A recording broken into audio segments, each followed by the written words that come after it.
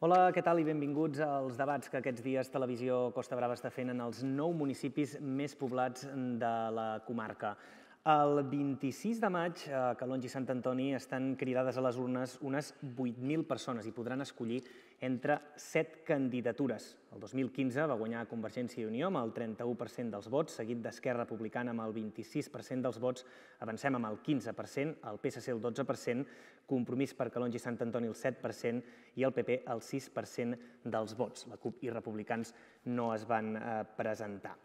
Aquest debat, en principi, s'havia de fer al Castell, però hi va haver uns problemes tècnics i finalment s'ha traslladat aquí a la sala Fontova de, de Calonja. Uh, sense més dilacions anem a presentar els set candidats que hi han avui aquí.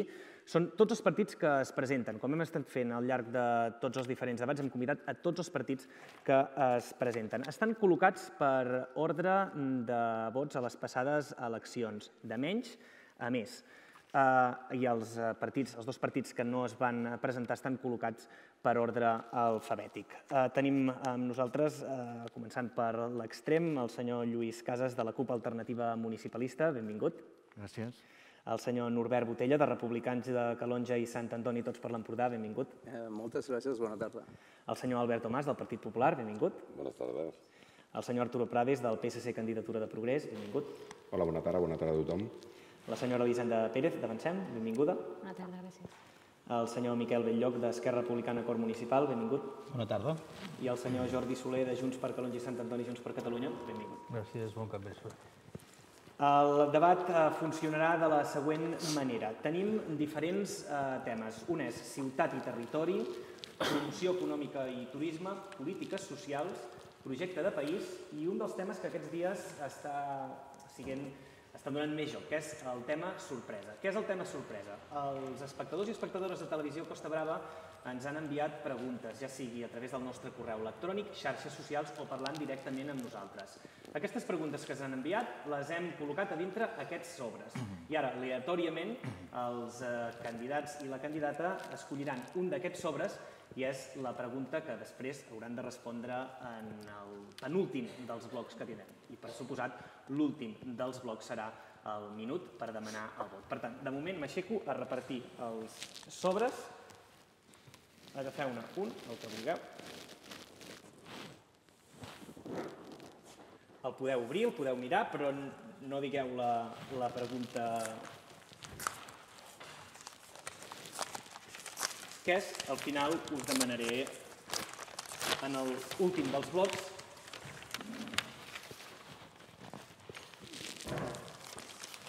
serà eh, quan podrem eh, doncs, contestar aquesta pregunta.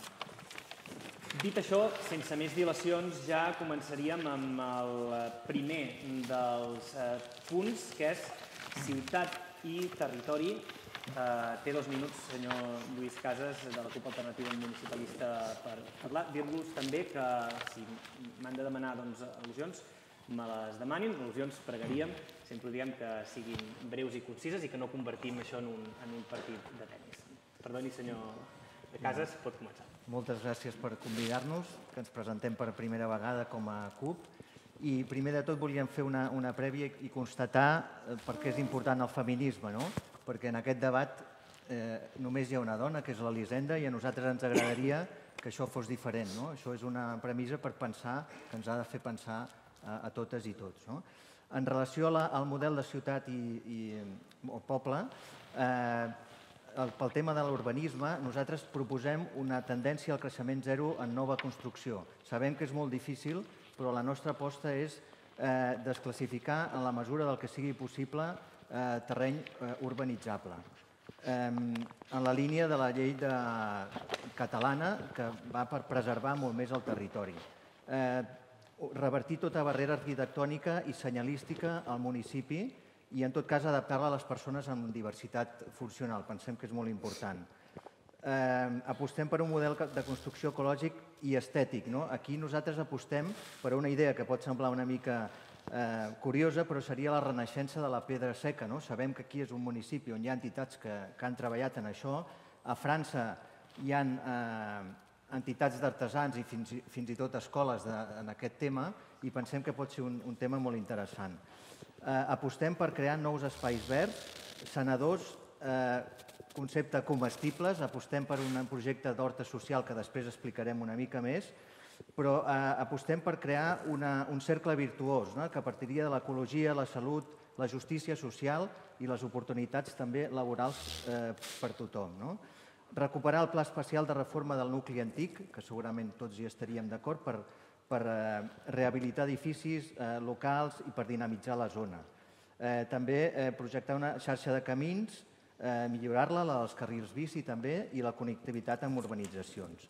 En el tema del medi ambient, Vagi acabant la idea. nosaltres eh, proposem una taula del medi ambient i el benestar animal per treballar tots els aspectes relacionats amb el medi ambient, les platges, eh, el tracte de l'animal i tot el, el que és eh, en, en relació al medi ambient. Moltes gràcies. Té la paraula el senyor Norbert Botella, de Republicans de Calonge i Sant Antoni. Sí, moltes gràcies. Bé, nosaltres creiem que l'urbanisme és una eina eh, d'ordenació i planificació i gestió del territori, dels habitatges del territori, però també és una eina de dinamització econòmica i social. Per descomptat, el gran repte urbanístic de Calonge i Sant Antoni és la unió i la cohesió dels habitatges que estan dispersos en el nostre territori. En aquest sentit, nosaltres apostem perquè l'Avinguda Unió sigui exactament això, un bulevard que, en què s'uneixin les dues viles. I ens imaginem nosaltres aquest bulevard eh, amb una política de eh, pisos socials, de comerços especialment juvenils i d'equipaments especialment juvenils. Ens faria molta il·lusió que això es pogués convertir i que fos una realitat. Estem pensant en potenciar, per descomptat, el passeig marítim, perquè el trobem ple de possibilitats. Pensem a la plaça de la Llibertat amb un equipament eh, especial pels infants, pel, com a parc infantil. També volem redissenyar el comerç de la plaça de la Llibertat, com també redissenyarem, eh, si sortim nosaltres eh, guanyadors, el, el comerç de vila. També estem pensant com el gran parc urbà que és el Collet i com a idea museística eh, que nosaltres considerem que és de l'alçada internacional. Pel que fa a Calonja, al castell, volem un castell viu, trepitjat, on hi hagi l'escola de música, on hi hagi l'escola de circ, on hi hagi exposicions, conferències, i estudiaríem la viabilitat de crear un alberg juvenil internacional per eh, l'antiga escola de les monges. Pel que fan a les urbanitzacions, tres coses. Primer de tot, eh, solucionar els problemes històrics que arrosseguen, estem parlant de Maspera, però també Mas Vilà. La segona cosa, volem que les urbanitzacions cada cop siguin menys urbanitzacions i més barris eh, que visquin eh, la idea del barri, que siguin barris anaccionats a Calonja i Sant Antoni. I definitivament cal una política de mobilitat, cal, cal una xarxa radial, facin venir les eh, urbanitzacions al centre, ja sigui Vila o ja sigui Sant Antoni, especialment carril bici. Moltes gràcies. Moltes gràcies. Té la paraula el senyor Alberto Mas del Partit Popular. Hola, buenas tardes. Los señores que me van a suceder en la palabra les van a explicar a todos ustedes el proyecto que tienen para los próximos cuatro años, pero yo creo que ya todos nosotros sabemos de lo que son capaces. El señor, el alcalde saliente, lleva más de 15 años en, esa responsabilidad. Tanto socialistas como Esquerra han participado desde el gobierno del ayuntamiento y han tenido su oportunidad para hacerlo. Si ustedes están de acuerdo en pagar los mayores impuestos que se pagan en los municipios de la zona, si ustedes están a favor de que el orden público se siga degradando, si desean que los mismos que nos han llevado a este mal gobierno en los últimos cuatro años sigan, estas son sus opciones.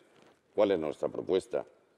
Nosotros queremos un municipio que sea un lugar seguro para vivir, un lugar donde nos podamos pasear sin tener ningún miedo, un lugar donde la, un lugar donde la policía local disponga de medios materiales y humanos suficientes.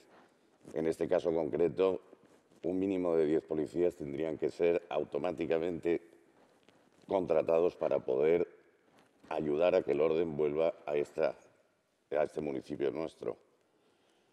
Repito lo de, lo de los impuestos porque vivir en el, en, el, en el municipio más caro de toda la comarca es un tema que, bueno, que significa mucho dinero, se pueden hacer muchas cosas, pero en lugar de ahorrar ese dinero, se gasta, se gasta, se gasta. Nosotros proponemos limitar el gasto que hasta ahora se está llevando.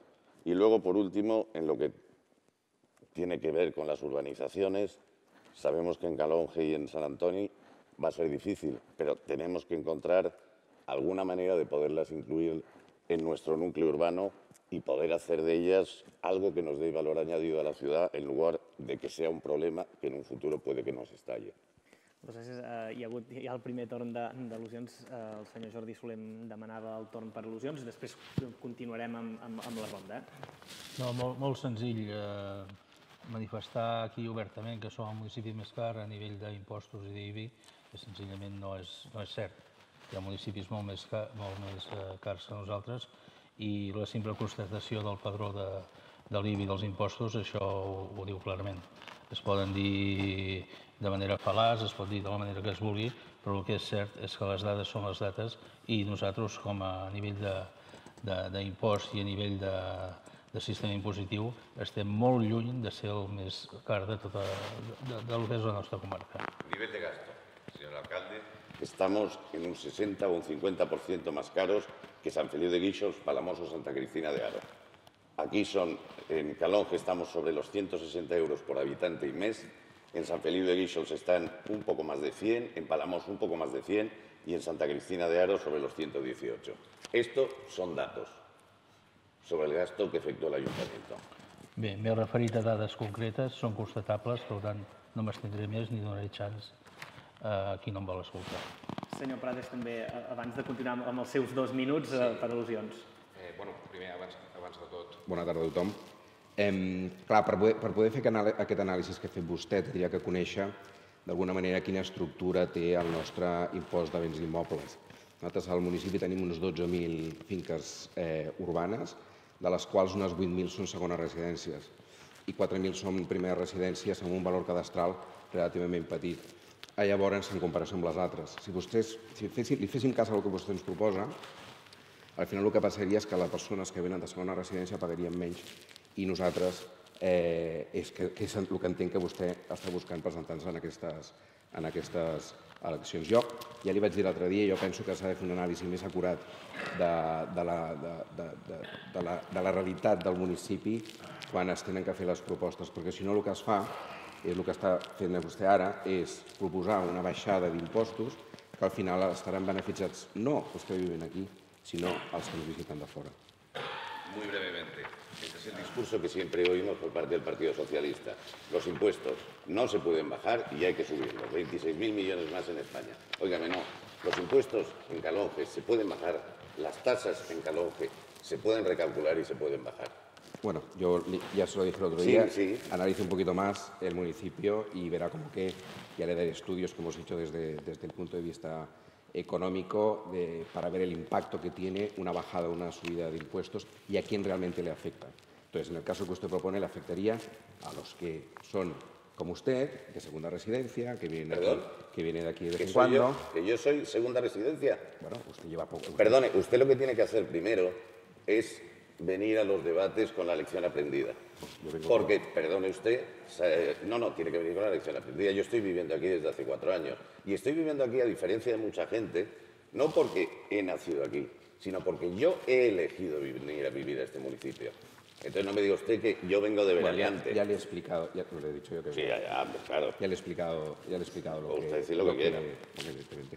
Claro, uh, más. El senyor Belló, que em volia, dir, el, volia intervenir en aquest torn d'al·lusions. No, més que res, justament per les al·lusions que s'han fet a, a, a, quan Esquerra va estar al govern, i francament no, ho trobo, no trobo que sigui res del que ens tinguem que avergonyir, justament durant aquests anys que Esquerra va estar al govern es va aconseguir desenvolupar d'una vegada el POM, que sempre havia estat clavat, i justament culturalment va ser una bona època per al municipi eh, a, a nivell cultural. Uh, només recordar-li que uh, el PP també va entrar a formar part d'aquest govern sí. actual. L'únic que al cap de dos anys el representant va, de, va decidir desvincular-se del partit. Uh, durant, durant els primers dos anys, si vostès creien que es tenien que fer aquestes modificacions, també es podien haver fet, crec jo, si estaven al govern actual en aquests moments. Uh, continuem, senyor Prades, els seus, ara sí, dos minuts de la seva Bueno, el nostre model de municipi és un municipi vital, saludable i un espai per a les persones. Vital perquè hem de ser capaços de retenir i atraure gent jove en el nostre municipi. Hem de ser capaços de retenir i atraure talent en el nostre municipi. Jo, quan veig els meus fills, m'agradaria que ells tinguessin el dret de poder-se desenvolupar personal i professionalment a Calonge Sant Antoni. Vital perquè hem de ser capaços de revitalitzar el nucli de Calonge, mitjançant un pla integral que incorpori urbanisme i nous espais, comerç i dinamització comunitària, seguretat i convivència i una política d'habitatge per a gent jove. Vital perquè hem de ser capaços de que tots nosaltres, tots vosaltres, tingueu una veu en la presa de decisions en el nostre municipi. Saludable. A mi m'agradaria que dintre del nostre municipi els governants tinguéssim cura d'una millor qualitat de vida de la nostra gent gran. Nosaltres, una de les coses que portem en el programa és crear la regidoria de gent gran, amb pressupost i autonomia pròpia, fora de serveis socials. I, una, i establir una sèrie de polítiques, polítiques de creació de pisos tutelats, polítiques de creació i desenvolupament de cooperatives amb gent aturada de llarga durada que doni serveis a la gent gran, ja sigui per eh, eh, manca de, de mobilitat o ja sigui per temes de dependència, crear el Banc del Temps com una eina solidària i de millora i de, trans, i de transferència de coneixement i un taxi a demanda gratuït per a aquelles persones que necessitin per temes de mobilitat o anar a mercat, o anar a la platja, o anar al CAP o a l'Hospital de Palamós. I un espai per les persones. Nosaltres prioritzarem que els espais que es desenvolupin a la propera legislatura estiguin pensats per, per la gent de Calonge Sant Antoni. Prioritzarem que estiguin pensats per la gent de Calonge Sant Antoni i no només per la gent que ens la visita. idea. Moltes gràcies, senyor Prades. Té la paraula la senyora Fent. Bé, bona tarda a tothom. Calonge Sant Antoni ha de ser un municipi per tots i per totes. Per tant, l'Ajuntament ha de ser de nou la casa de la vila, la casa on sentir-nos còmodes, on sentir-nos atesos i, sobretot, sentir-nos escoltats. Volem un poble obert, transparent, on les persones que governen siguin com nosaltres, persones de peu, i volem que l'Ajuntament faci d'entitat pública gestionada per servidors públics. Ara mateix tenim empresaris, entre cometes, que fan de l'Ajuntament la seva empresa i que tenen com a objectiu el màrqueting i els beneficis. Màrqueting per fer places, posar escultures, fer actes, esdeveniments i fires a preus estratosfèrics, per construir i seguir construint sense que això tingui un retorn real per al municipi i crear beneficis que es tradueixen doncs, amb aquest superàvit. Nosaltres volem un ajuntament que estigui gestionat per servidors públics que tinguin clar que les prioritats són gestionar els serveis públics bàsics, necessaris i reals. Volem que, en vez de fer màrqueting i aconseguir superàvit, es destinin els esforços a fer que Calonge Sant Antoni sigui un lloc millor. Més transparent, amb gravacions dels plens municipals, més segur, amb càmeres de seguretat a les entrades i sortides de les urbanitzacions, amb policia local rural i amb els agents cívics, un lloc accessible on les urbanitzacions gaudeixin dels mateixos serveis que la resta del municipi. Un poble connectat entre ell i amb els municipis propers amb transport públic. Un lloc on els ambulatoris estiguin en condicions òptimes a l'espera del possible futur CAP. Un lloc on es doni importància a la perspectiva de gènere amb la creació de l'àrea d'igualtat. Un poble on els edificis municipals no pateixin deficiències històriques en manteniment i modernització.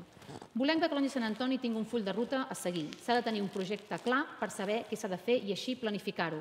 Totes les àrees de l'Ajuntament i per, per tant també les regidories han de treballar colze amb colze de manera transversal per arribar a les fites que hem pensat anteriorment. Repeteixo, l'Ajuntament no és una empresa. Acabo, no podem eh, felicitar-nos perquè cada any ens sobrin mils i milers d'euros que van als bancs i que el converteix en un ens insuficientment social. Nosaltres volem un Ajuntament eficaç i eficient per fer que els, que els que necessiten, per fer cada dia el que necessiten els veïns i veïnes del nostre municipi. Moltes gràcies. El senyor Prades m'ha demanat el... Bueno, un, respecte al tema d'empresaris de, de, de, i de si fem àrea de promoció econòmica, suposo que vostè no ha, no, no, no ha vist les xifres d'atur, com han pujat eh, la, la població activa en el nostre municipi en el, les últimes dades del, del, del mes d'abril en comparació amb l'abril del, del, del 2015 hi ha 590 persones que s'han inserit en el mercat laboral. Clar, eh, només quedar-se amb el tema de les fires, tot és un, són temes que van tots correlacionats amb la mateixa idea i al final és que el, el municipi tingui progrés, el municipi eh, siguem capaços de millorar la renda disponible de tots els nostres conciutadans i, sobretot, miri, quan vostè parla de, del tema dels servidors públics, com s'ho farà vostè? Que estarà tota la setmana a Madrid i després estarà aquí. Com s'ho farà? O sigui, m'està fent un ratet a nosaltres que no li dediquem força temps, que som empresaris, que som no sé què, com s'ho farà vostè? Expliqui-li la gent com s'ho farà. Doncs mira, molt senzill. Jo tinc clar que sóc servidora pública, tinc clar que a mi m'agrada passejar pel meu municipi perquè la gent em pugui preguntar coses i no tancar-me en un despatx. Jo tinc clar que si sóc alcaldessa d'aquest poble plegaré de la meva feina a Madrid perquè em vull dedicar única i exclusivament a l'Ajuntament de Glònia i Sant Antoni.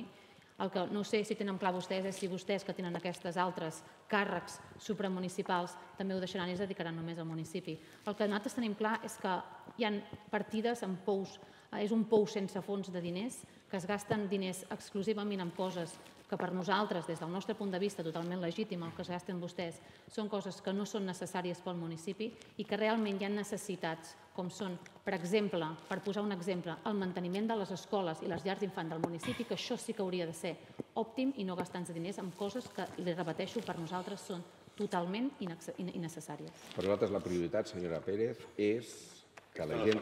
Perdón un momento. ¿Estamos en un turno de réplicas o contrarréplicas o en un momento en el que se puede dialogar de cualquier manera? El debat el, modero, entonces... el, el debat el modero jo. Si necessiten alguna rèplica o contrarèplica, aixequin la mà i jo els hi donaré la paraula. Senyor Prades. He perdut el fil. El... La nostra prioritat és que la gent d'aquest municipi eh, tingui i millori la seva renda disponible. Per això farem, farem el que faci falta perquè la millor manera de que tingui progrés això és que la gent i l'economia en aquest municipi millori perquè tingui millor progrés. I què farà si no és alcaldessa? Això és el que jo decidiré en el moment en què he de decidir. Vostè decideix treballar de la manera que treballa l'Ajuntament i gastar els diners que es gasta sense que això tingui un retorn real per al municipi, jo li dic el que penso i jo el que jo faré serà que després del dia 26 de maig decidir el que faré. Ah. Però ja li dic ara que jo, si surto elegida d'alcaldessa, deixaré la meva feina a Madrid i em dedicaré única i exclusivament a que Calonge no. i Sant Antoni tingui el dia a dia que es mereixen els veïns no i veïns. No convertim això en un, en un partit de, de tennis, senyor Belllloc, els seus dos minuts. Bueno, està bé tot el partit de tennis. Uh, a veure... Com a espectador. Com a espectador, de moment. A veure, coses concretes. Urbanísticament, eh, aquests dies hem estat fent els porta a porta, hem estat amb la gent al carrer parlant amb ells, i, les, i són coses concretes les que preocupen urbanísticament en aquest municipi. No, no cal que ens posem a parlar aquí d'idees vagues i generals, sinó anem a, a coses concretes. Vila, el gran problema que tenim ara. Vila, tenim un problema. Uh, tenim una, una vila amb un embolcall preciós, molt ben fet, això no, no discutirem, la veritat és que urbanísticament s'ha maquillat molt bé, però que no, no, està, no estem traient un profit, eh, el tenim mort. Mm, no, jo no sóc del que diré està a punt de morir, està mort, siguem clars. L'única manera que tenim és eh, provocant una oferta. Eh, gent que te diu, què fareu perquè hi hagi més comerç? Eh, no li puc dir a ningú que vingui a obrir un comerç a Vila perquè és, és així de senzill. Ningú obrirà un comerç si no li passa gent per davant de la porta. Per tant, el que hem de fer és dinamitzar aquesta vila. Uh, i, I aquesta vila només es pot dinamitzar amb la gent, amb la gent d'aquest poble, amb les entitats, amb les associacions, comptant amb tothom perquè puguin fer aquestes accions que ens puguin portar gent al carrer i, i puguem tenir una vila amb, amb una vida, que cosa que ara no té. Això també implica eh, un tema de seguretat. Aquesta seguretat que en aquests moments manca i que, mm, com ja hem comentat en alguns plens, creiem que seria molt indicat aquest, mm, aquest eh, més moviment de policia, que això implicaria tenir que contractar més policia i que també tindria que implicar aquestes càmeres al carrer, com a mínim de manera dissuasòria. Uh, altres punts molt, molt complicats són les urbanitzacions, les urbanitzacions i el Maspera no, no estic descobrint res nou, tots ho sabeu, el Maspera. El Maspera ha sigut eh, el gran problema que hem tingut amb el tema urbanístic en aquest, en aquest municipi i hem de posar fil a l'agulla. Ja s'ha començat a posar fil a l'agulla, amb això tampoc ens discutirem, però és que jo crec que ara hi ha un, més un problema eh, de que l'Ajuntament té que fer una atenció més individualitzada de les persones. Hi ha gent que pot, hi ha gent que pot afrontar aquests pagaments que els hi venen ara i hi ha gent que necessitaran una gestió molt més concreta d'aquests pagaments. i mediambientalment tirar endavant l'Agenda 21, cosa que en aquests moments ha quedat totalment morta en aquest municipi. Abans dels seus dos minuts, senyor Soler, m'ha demanat torn per contestar el senyor Belloc. Sí, bàsicament pel tema de, que ha fet referència al, al, centre, al centre vila de, de Calonja, que si està, si està mort, etc etc etc. No està diferent a altres llocs d'aquí. El comerç s'ha anat desplaçant cap a, cap a la zona exterior i aquí els comerços que hi havia eren comerços familiars que no han volgut seguir els fills o els nets de, dels comerciants. Sí hi ha un punt clau que és el que ara ha esdevingut un, un tema central en aquesta campanya, o sembla que vol ser un tema central de la campanya, que és el tancament del cercle calongí. Si això no s'hagués produït, vostè i jo no estaríem parlant ara d'aquest tema. El per què s'ha tancat, eh, evidentment no, no crec que sigui jo qui ho, hagi, qui ho hagi de dir, perquè nosaltres vam complir amb el conveni establert i aprovat pel ple eh, fil, fil per randa. Potser la resposta l'hauria de buscar a les seues files, donat que el número 2 i el número 3 de les seves files són la secretària i una vocal del Cercle Calongí, potser ells tindrien la resposta. I amb el que fa el Maspera, amb el tema de fila d'agulla, fa molt de temps que s'hi està posant. Maspera és una organització immensa que cada cop que s'ha de notificar s'ha de notificar més de 1.500 persones. Això ha fet que s'hagi, amb el temps, a part de, de, de processos judicials que s'han establert i recursos contra l'actuació de l'Ajuntament, però en aquests moments la, la recalificació està, està tancada definitivament, s'està comunicant ja eh, el, darrer, el darrer pas i el proper, el proper estadi serà ja la, la, la, la licitació i l'execució de, de l'obra. Li repeteixo, el Maspera no, no li discutiré que, que, que ja s'hagi aconseguit tirar endavant la licitació, bueno, que s'estigui a punt de tirar endavant la licitació i l'execució. Això, no, això no, no ho discutirem. Nosaltres el que sí que discutirem és com afrontaran la gent del Maspera el, aquest, aquests pagaments que els hi venen ara al davant. És l'única cosa amb la, amb la que discreparem en, en aquest sentit. I justament el del cercle Calongí, m'agrada molt que, que tregui justament aquest tema, perquè és que Sí, té raó. El segon, el segon, segon i tercer de, la segona i tercera persona de la llista estan a dintre d'aquest cercle calongí i per sort m'arriben, tinc la sort de que me puguin arribar les notícies molt més directes. A l'Ajuntament, les actuacions que ha fet bueno, són discutibles eh, i l'altra cosa és que, mm, li repeteixo, ningú vindrà a agafar el cercle calongí si no hi ha un moviment al carrer. Siguem, siguem clars. És el mateix que he dit fa, fa un minut Uh, si no crees una oferta, no hi haurà una demanda. Ha vingut bastants empresaris a mirar aquest cercle calongí. Els agrada aquest cercle calongí. Veuen un potencial magnífic per, uh, per poder, amb, amb l'espai que hi ha darrere, per poder fer coses molt interessants. Problema, no hi ha gent al carrer. Si no tens gent al carrer, no obriràs un negoci. Qualsevol empresari ho sap, això. Per tant, l'Ajuntament té que perdre calés. I, per tant, el que té que fer és portar aquest, aquest moviment gastar cèntims i, i, i, i recursos en què hi hagi aquest moviment al carrer. Quan tu crees el moviment, vindran els comerços. Senyor Soler, tanqui sí, el tema per, i després té els seus dos minuts. Ja, gràcies. Per, per acabar només, eh, el, que, el que li vull dir és que l'Ajuntament, eh, no sé si és discutible o no, però en tot cas és la pactada i conveniada en el, en el ple. I això s'ha complert a fil, fil per randa. Per tant, hem complert amb lo acordat i com sempre ho hem complert amb, amb temps i, i, i forma. Eh? Per tant, eh, només per acabar, dir-li dir que, eh, evidentment, les actuacions s'han de demostrar i avui, quasi sis mesos després del tancament del cercle calongí, encara no han entrat al permís d'activitat. Els seus dos minuts. Gràcies. Bé, nosaltres amb el tema de ciutat i territori el que volem seguir és el, el pla general que vam aprovar el, 2000, el 2013.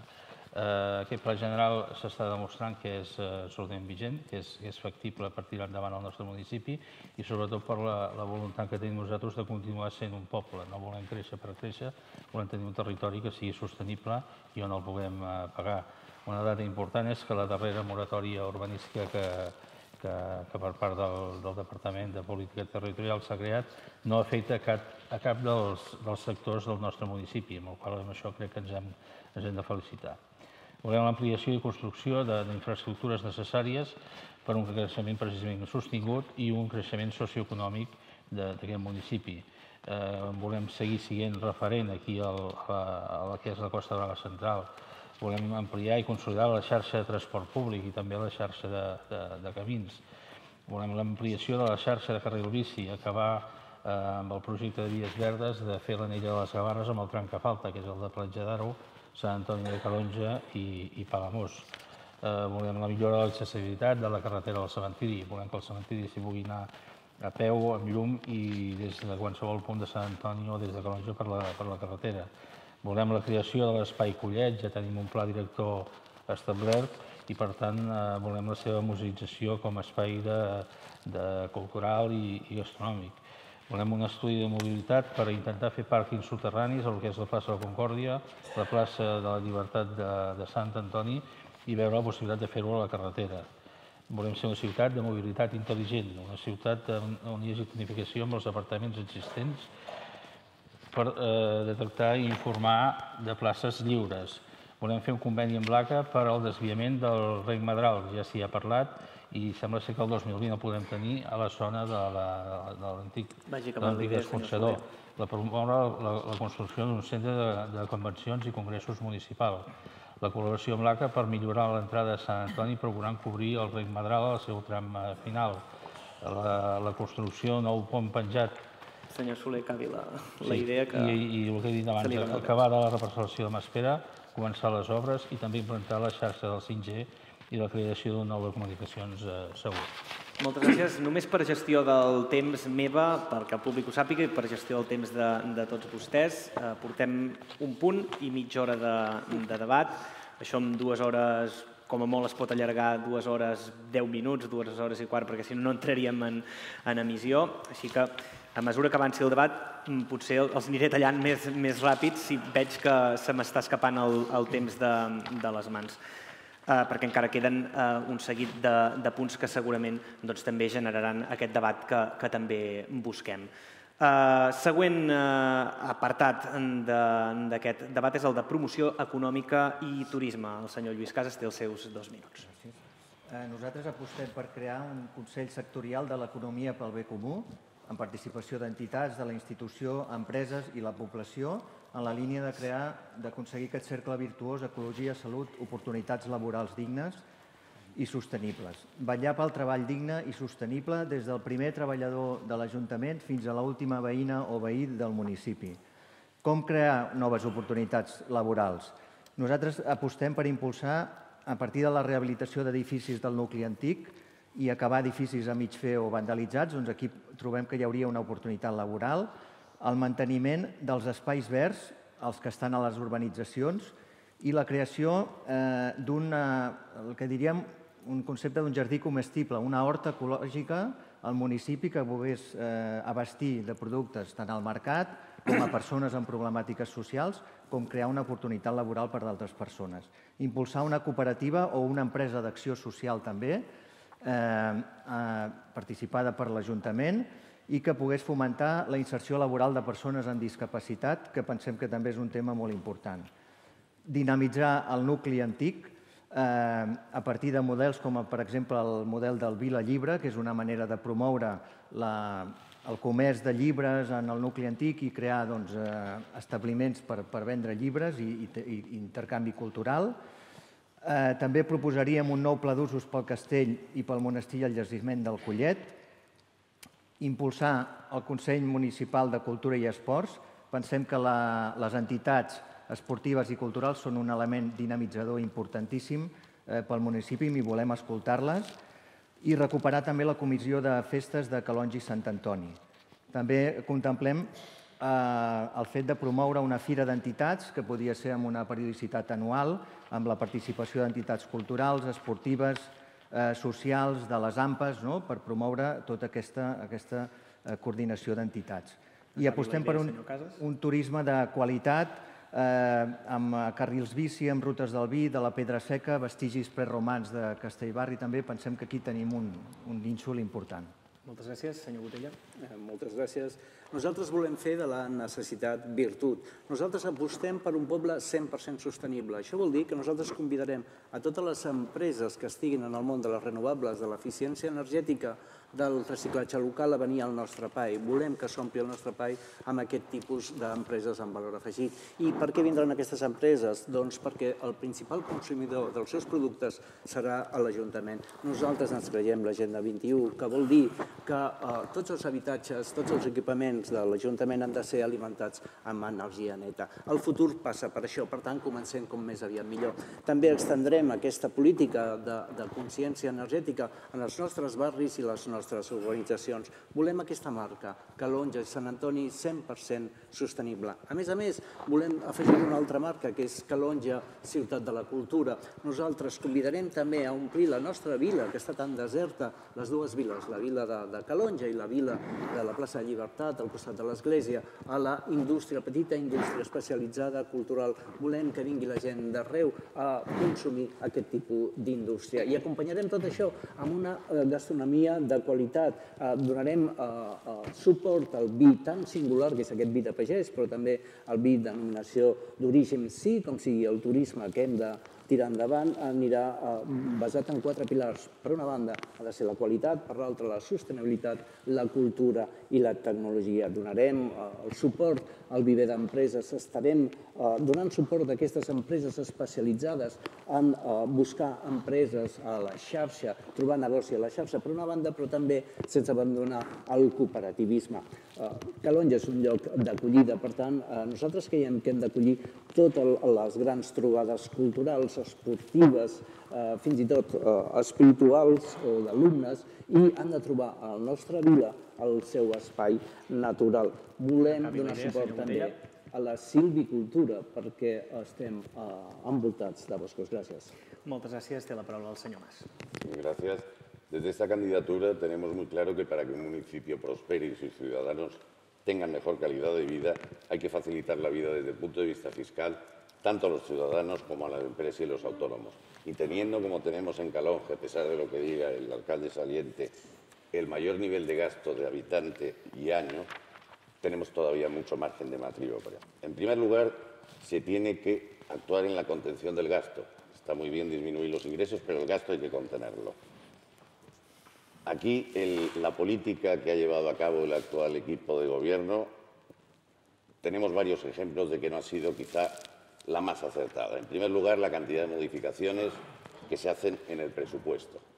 Eso dirán que es fruto de todos los problemas o del devenir, pero la verdad es que la previsión no está siendo muy buena. Otro ejemplo de, cómo se tira el dinero del contribuyente es lo que ha pasado con el chilinguito de Cala Cristus se organizan licitaciones, luego se anulan, se vuelven a hacer otras licitaciones y todo eso cuesta dinero y trabajo de la gente del ayuntamiento que tiene que dedicarse a esas cosas.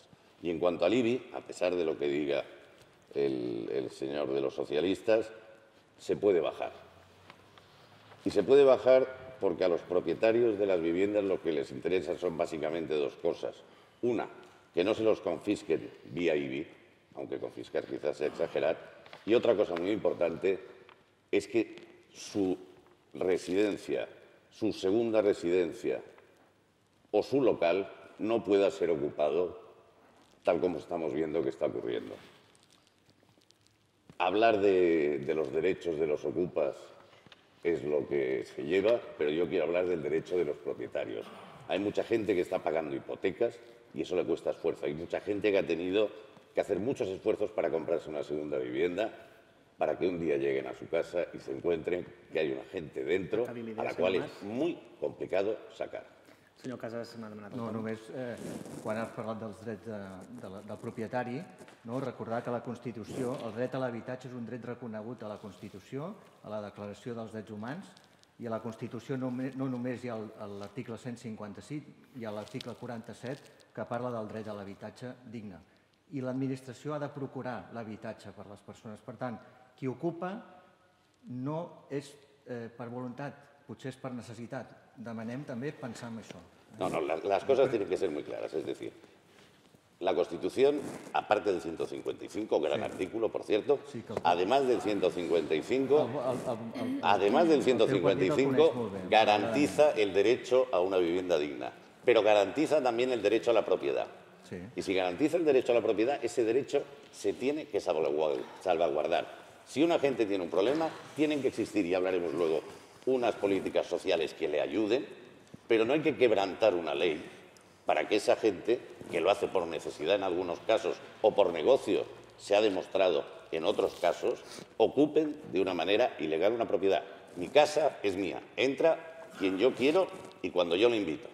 No cuando alguien tiene la cara dura de pegarle una patada a la puerta, cambiar la cerradura i los problemes que voy a tener para sacar. Molt bé. Jo el que, el que em resisteixo a pensar que no... Senyor Casas, breument, i respecte a la després li persona, passaré la paraula al senyor Botell i la després la possibilitat de fer un acte d'empatia i situar-te en, els, en la situació d'algú que amb un subsidi d'atur de 430 euros com es paga un lloguer, com s'aconsegueix un lloguer i com es paguen les despeses. Tengo empatía con un señor que está ganando 1.200 euros, que tiene dos hijos y que está pagando una hipoteca para poder vivir en su casa. Y que cuando se va un fin de semana y vuelve se la puede encontrar ocupada. Con ese señor tengo en empatía. Con el otro señor tengo también empatía. ¿Tienen que existir políticas sociales? Por supuesto. Ah, espero que Pero no pueden patadas en la puerta. Senyors Casas i, i Mas, eh, després els hi tornaré a donar la paraula si cal, però el senyor Botella, després la senyora Sí, Pérez. jo, jo volia contraargumentar amb el senyor Alberto. Bé, el seu eh, partit, el PP, és una gran empresa de beneficència, però el que passa és que és una gran empresa de beneficència només pels rics. Condonar 65.000 milions d'euros als bancs és eh, eh, pagar dues vegades gairebé el pressupost de la Generalitat. Eh, salvar les radials eh, de les autopistes és tenir una gran sensibilitat per la gent que té molts diners. I és curiós que perdi aquesta sensibilitat quan parlem d'altres sectors de la societat. Res més, només li demano una mirada profunda a les causes de la pobresa per tal eh, farà comentaris més encertats. Gràcies. Uh, senyor Prades, els seus, No vols dir? els seus dos minuts. Molt bé, escolteu. Um, promoció econòmica i turisme. Les nostres propostes estan basades en una, en una cosa que ja he comentat abans. Nosaltres tenim una, una, una dada que per nosaltres és molt crítica i és que a Calonge Sant Antoni la renda disponible, que són els calés que tenim tots a la butxaca de mitja, és un 22% per sota de lo que hi ha a la resta de Catalunya i a la resta de la província de Girona. Si no diem, des de la resta de la província de Girona, un 22% per sota de lo que tenim aquí a Calonge eh, i Sant Antoni. Això és degut principalment a que la nostra economia està molt focalitzada al turisme, està molt centralitzada en uns mesos de l'estiu i el que nosaltres proposem és eh, crear una economia nova, és el que portem treballant en aquests últims quatre anys. Per això hem treballat amb desenvolupar accions per portar més empreses al PAEC, continuarem, crearem un grup de treball per portar inversions al PAEC, perquè crec que és necessari per millorar la feina, la feina desestacionalitzada a Calonge Sant Antoni, millorarem el, el, el tema de... mm, Continuarem treballant en que Calonge Sant Antoni sigui un territori emprenedor, continuarem treballant en que tant les empreses com els treballadors com els aturats tinguin una millor formació per poder-se inserir en el mercat laboral d'una manera més adequada. Treballarem amb empreses d'inserció eh, i cooperatives perquè les aturades i aturats de llarga durada, que són més del 51% dels aturats que tenim en el municipi, 22% d'ells porten 3 anys sense trobar feina, que siguin capaços d'inserir-se en el mercat laboral perquè tenen més de 45 anys i penso que és una realitat social que hem d'adreçar. I tot això, penso que nosaltres durant aquests 4 anys hem fet gala, hem fet, eh, hem fet bandera i penso que volem continuar treballant aquests 4 anys amb això. El tema de turisme, molt ràpid. Penso que nosaltres eh, perdem moltes vegades el rumb creant eh, productes nous. Eh, anem amb cuidado perquè ens juguem molt amb el tema del Acabi la turisme. idea, eh? senyor Prades. Ens juguem molt i, i crear eh, posicionaments diferents al, al turisme familiar, eh, potser en el dia de demà eh, ens en penedirem. Moltes gràcies, senyora Pérez. Bé, doncs en promoció econòmica i turisme. Jo crec que, que el primer que hauríem de pensar és que Calonge i Sant Antoni té una essència especial. Som un poble amb una història viva, espectacular. Som un poble de pagès, som un poble de mar i muntanya, amb una molt bona gastronomia, amb productes de la nostra terra, únics i originals. Som un poble de cultura. Per tant, volem que i Sant Antoni potenciï el que ens defineix. Hem de cuidar la nostra pagesia i fomentar-la com a forma de vida creant la regidoria de pagesia i paisatge que promocioni els productes de la nostra terra i que recuperi la història viva de les nostres terres per mostrar-la tant al turisme però també, i molt important, els nens i nenes del nostre municipi, a través de les escoles, perquè ells i elles també han de saber qui som i d'on venim. Hem d'apostar també per al turisme esportiu, un turisme que és per tot l'any i no només estacional, adequant espais per carril bici compatibles amb vianants i esportistes, així com un canal públic per embarcacions sense motor entre les platges del Monestir i Torre Valentina. Hem de crear de manera urgent una taula d'estudi entre el veïnat i les persones vinculades al comerç per trobar les accions a fer per tornar la vida i el comerç als nostres nuclis. Hem de fer una aposta valenta com a poble en temes culturals. Hem d'obrir els, els, eh, els espais que tenim, com són el Castell, la Capella del Carme, el Fontova, el Cirque Calongí, el Mundet i el Collet, a través de la figura d'un dinamitzador cultural que gestioni els espais de manera que siguin útils per tothom. I hem de donar la importància que toca a les entitats del nostre municipi. Són el cor i el cap de moltíssimes activitats i actes que només les entitats són capaces de fer. Els hem de donar de nou l'espai de despatxos que tenien abans a serveis socials i els hem d'ajudar econòmicament, però també tècnicament en la justificació de les subvencions que reben, així com facilitar-los l'ús dels edificis municipals i culturals. I per poder ser un poble turístic hem de tenir oberta l'oficina de turisme de Calonge i Sant Antoni, sobretot la d'aquí dalt, tot l'any, i vincular-la també amb l'obertura del castell. Moltes gràcies, senyora Pérez. Eh, té la paraula el senyor Villó. Us parla un restaurador de Sant Antoni, vale? no us parla el cap de llista d'Esquerra Republicana. La temporada és cada vegada més curta i això és veritat. I no és que sigui cada vegada més curta, és que cada vegada és menys eh, contundent. A veure, al mes de setembre baixem la persiana i tanquem, la, tanquem, tanquem la, les platges. És així? Sí, baixa la persiana, es tanquen les platges. Mm, tan difícil és girar-te a 180 graus? Gira't a 180 graus i veuràs que tens unes gavarres, que tens un castell, que tens una capella de Carme, que tens les remenses, que tens la Déu Empordà. Segueixo? Perquè podem estar així eh, als dos minuts. Eh, o sigui, tenim un patrimoni brutal que no estem fent servir per res. Eh, explotem-lo, és així de senzill. De la mateixa manera que explotem el, els estius les platges, explotem el que tenim aquí.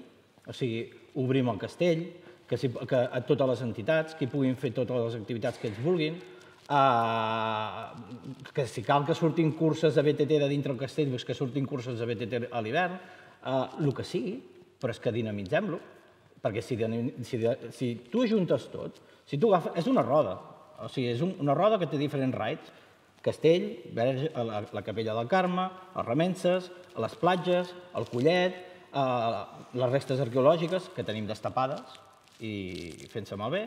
Eh, tot això és, és el que té que fer aquesta gran paraula, que ara ve quan la lio, perquè ningú, ningú l'ha volgut dir, la diré jo, desestacionalitzar el nostre municipi. Vale? És molt complicat. És, és la desestacionalització del municipi és molt complicat, però és que el patrimoni el tenim.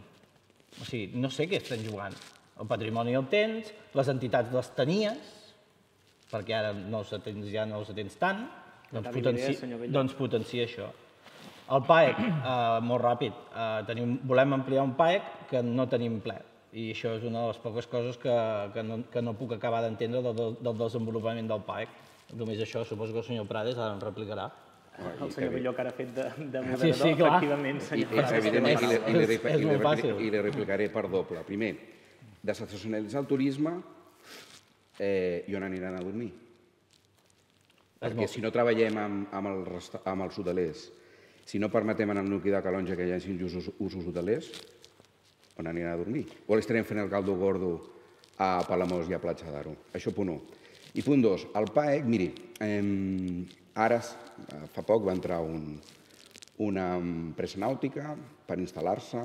Eh, degut a un projecte singular que estem desenvolupant, tenim diferents projectes i quan la gent ens demana, un empresari que ens demana que vol consolidar tota la seva estructura de, del Baix Empordà en el PAEC de Calonja perquè està ben comunicat, perquè està, eh, té fibra òptica i ens demana 10.000 metres per portar aquí a 80 treballadors, què li diem? Que perquè vostè porta la llista una persona que, que no vol que ampliem el PAEC, no pensem en el general, pensem només en els individus. Miri, una cosa li puc assegurar, que nosaltres, o jo personalment, jo no governo pels de la meva llista. Jo governo per tots. Molt bé. Uh, bueno, fem-ho molt fa... ho farem més fàcil. Aquesta persona que vostè diu que està a la meva llista, també li recordo que havia estat a la llista dels socialistes i que el seu, i que el seu, el seu pare havia sigut un dels millors alcaldes que havia tingut aquest, aquest municipi del PSC. Això partim, partim d'aquí. Vale?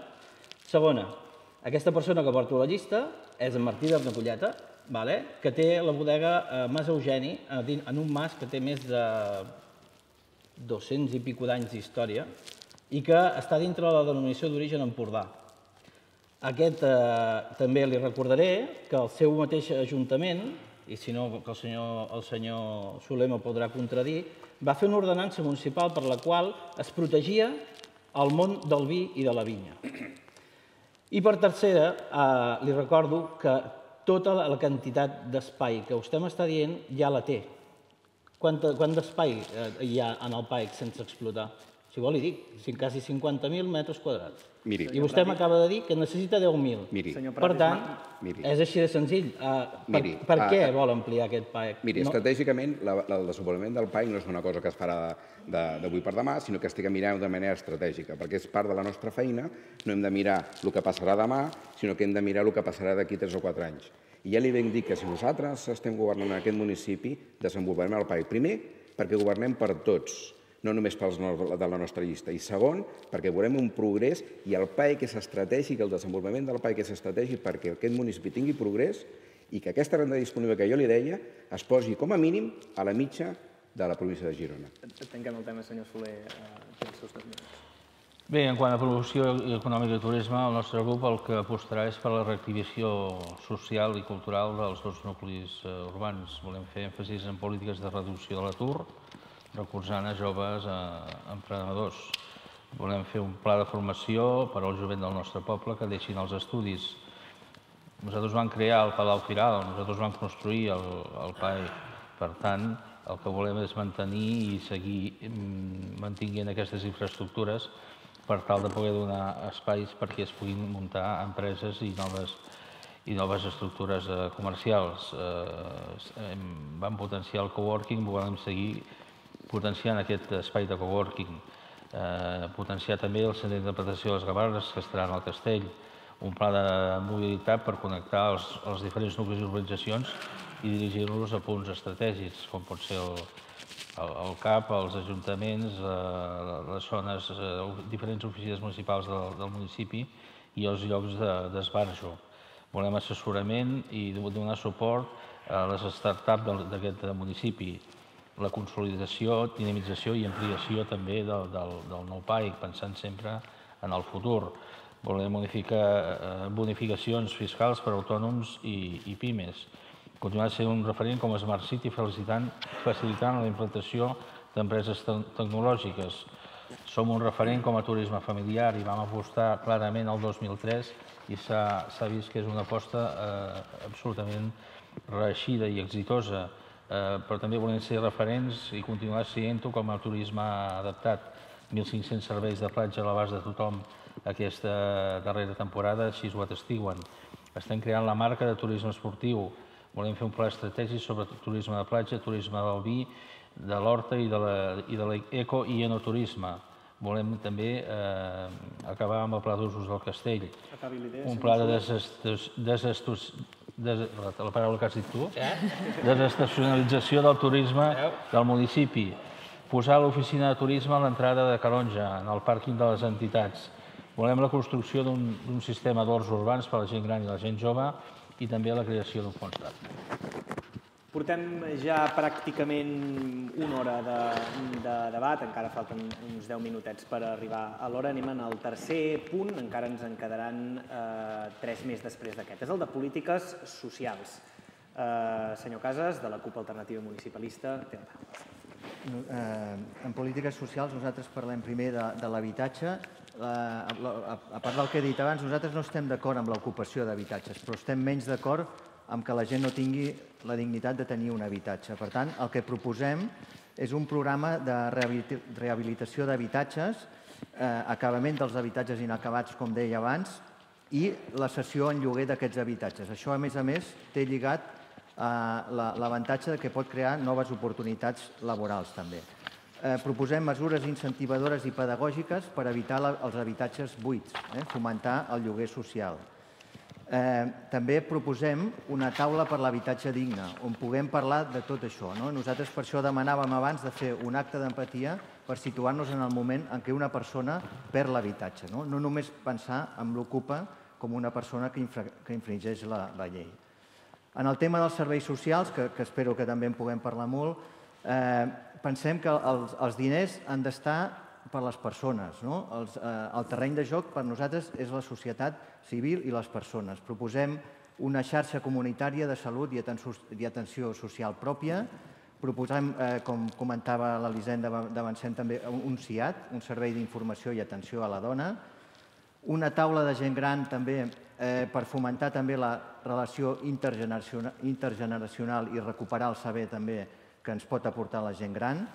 Eh, pensem que les polítiques de seguretat han de comptar amb una idea transversal de seguretat, que aquí incloem la figura de l'agent cívic, que pot ser un, un agent que ens ajudi a millorar tot aquest, aquest aspecte. I també eh, en relació al que comentava abans dels horts socials, que veig que hi ha algun projecte que es podria compartir i que potser arribem a algun acord per generar un hort social per persones amb problemàtica eh, social i d'ingressos econòmics. En relació als joves, que per nosaltres és molt important i, i no els escoltem prou, proposem sobretot els diners per beques, menjadors escolars, el treball de necessitats educatives especials, per, per això per nosaltres és importantíssim també. Moltes gràcies. Té la paraula el senyor Botella de Republicans de Calonge i Sant Sí, moltes gràcies. Bé, la política social per al nostre partit és un element absolutament vertebrador del nostre programa. Eh, però abans que res hauríem de tenir un mapa de les necessitats socials reals d'aquest poble. Nosaltres pensem que qui ens pot donar aquest mapa són els treballadors i les treballadores que estan cada dia a la primera línia de foc, que saben què passa dins de les cases de la nostra vila. Eh, per cert, aquests treballadors i aquestes treballadores que actualment com a col·lectiu no viuen el seu millor moment per certa precarietat laboral. Nosaltres creiem que des del nostre poble es poden fer aquestes coses.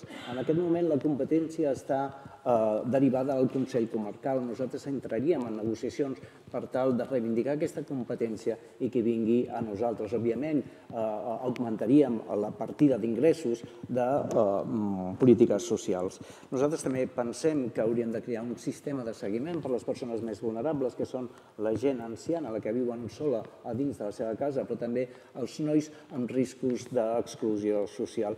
Eh, un tema absolutament eh, important és el tema de la gentrificació, és a dir, a, través del boom del turisme es puja els sous dels pisos i el que fan és eh, apartar, eh, apartar la gent jove que pot trobar eh, eh, vivenda. És el que anomenaríem, eh, la, anomenaríem la residència, la residència fora del nostre poble.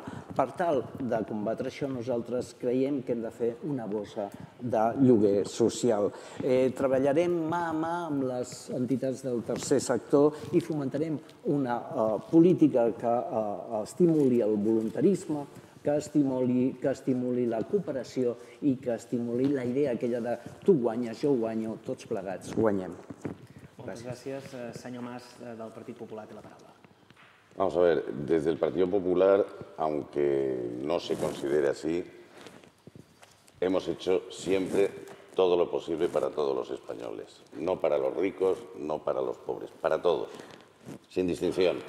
Seguramente no estaré de acuerdo con ninguno de los que estamos aquí sentados, pero eso es una realidad y los datos lo demuestran.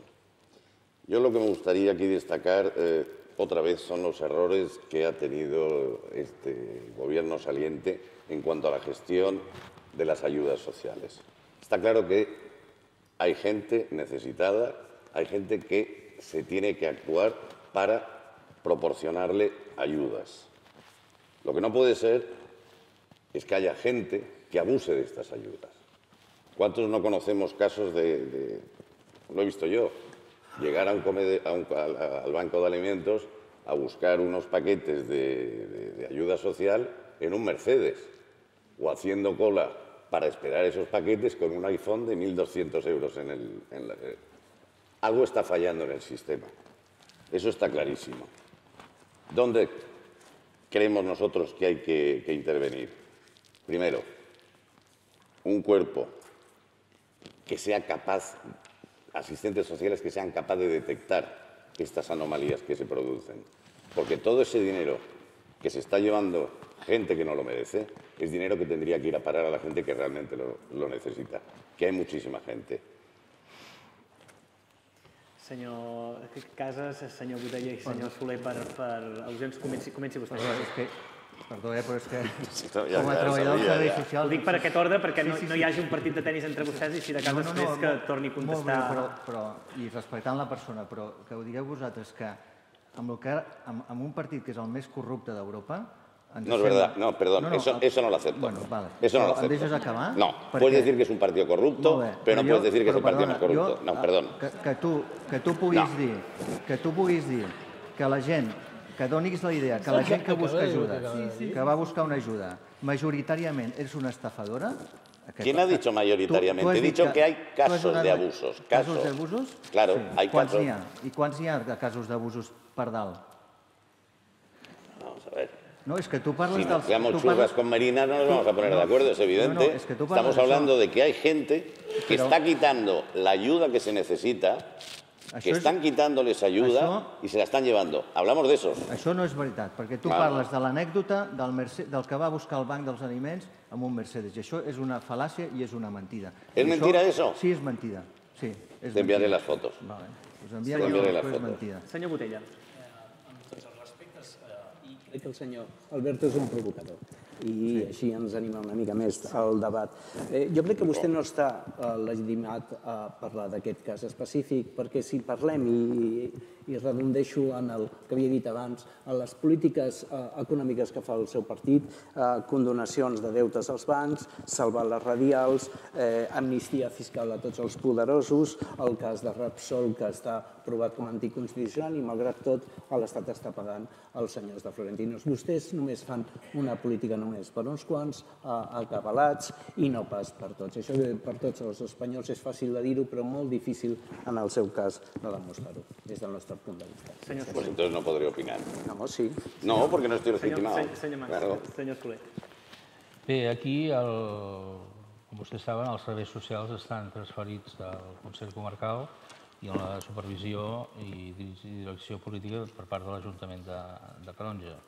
I en aquest aspecte eh, és possible que algú pugui tenir algun, alguna excepció que, que puguin abusar, però el que marca realment si algú té dret o no té dret a, a tenir eh, la beneficència de serveis socials és la pròpia llei. I aquest paràmetre és, eh, aquest paràmetre és absolutament eh, tassat i marcat i, per tant, és així.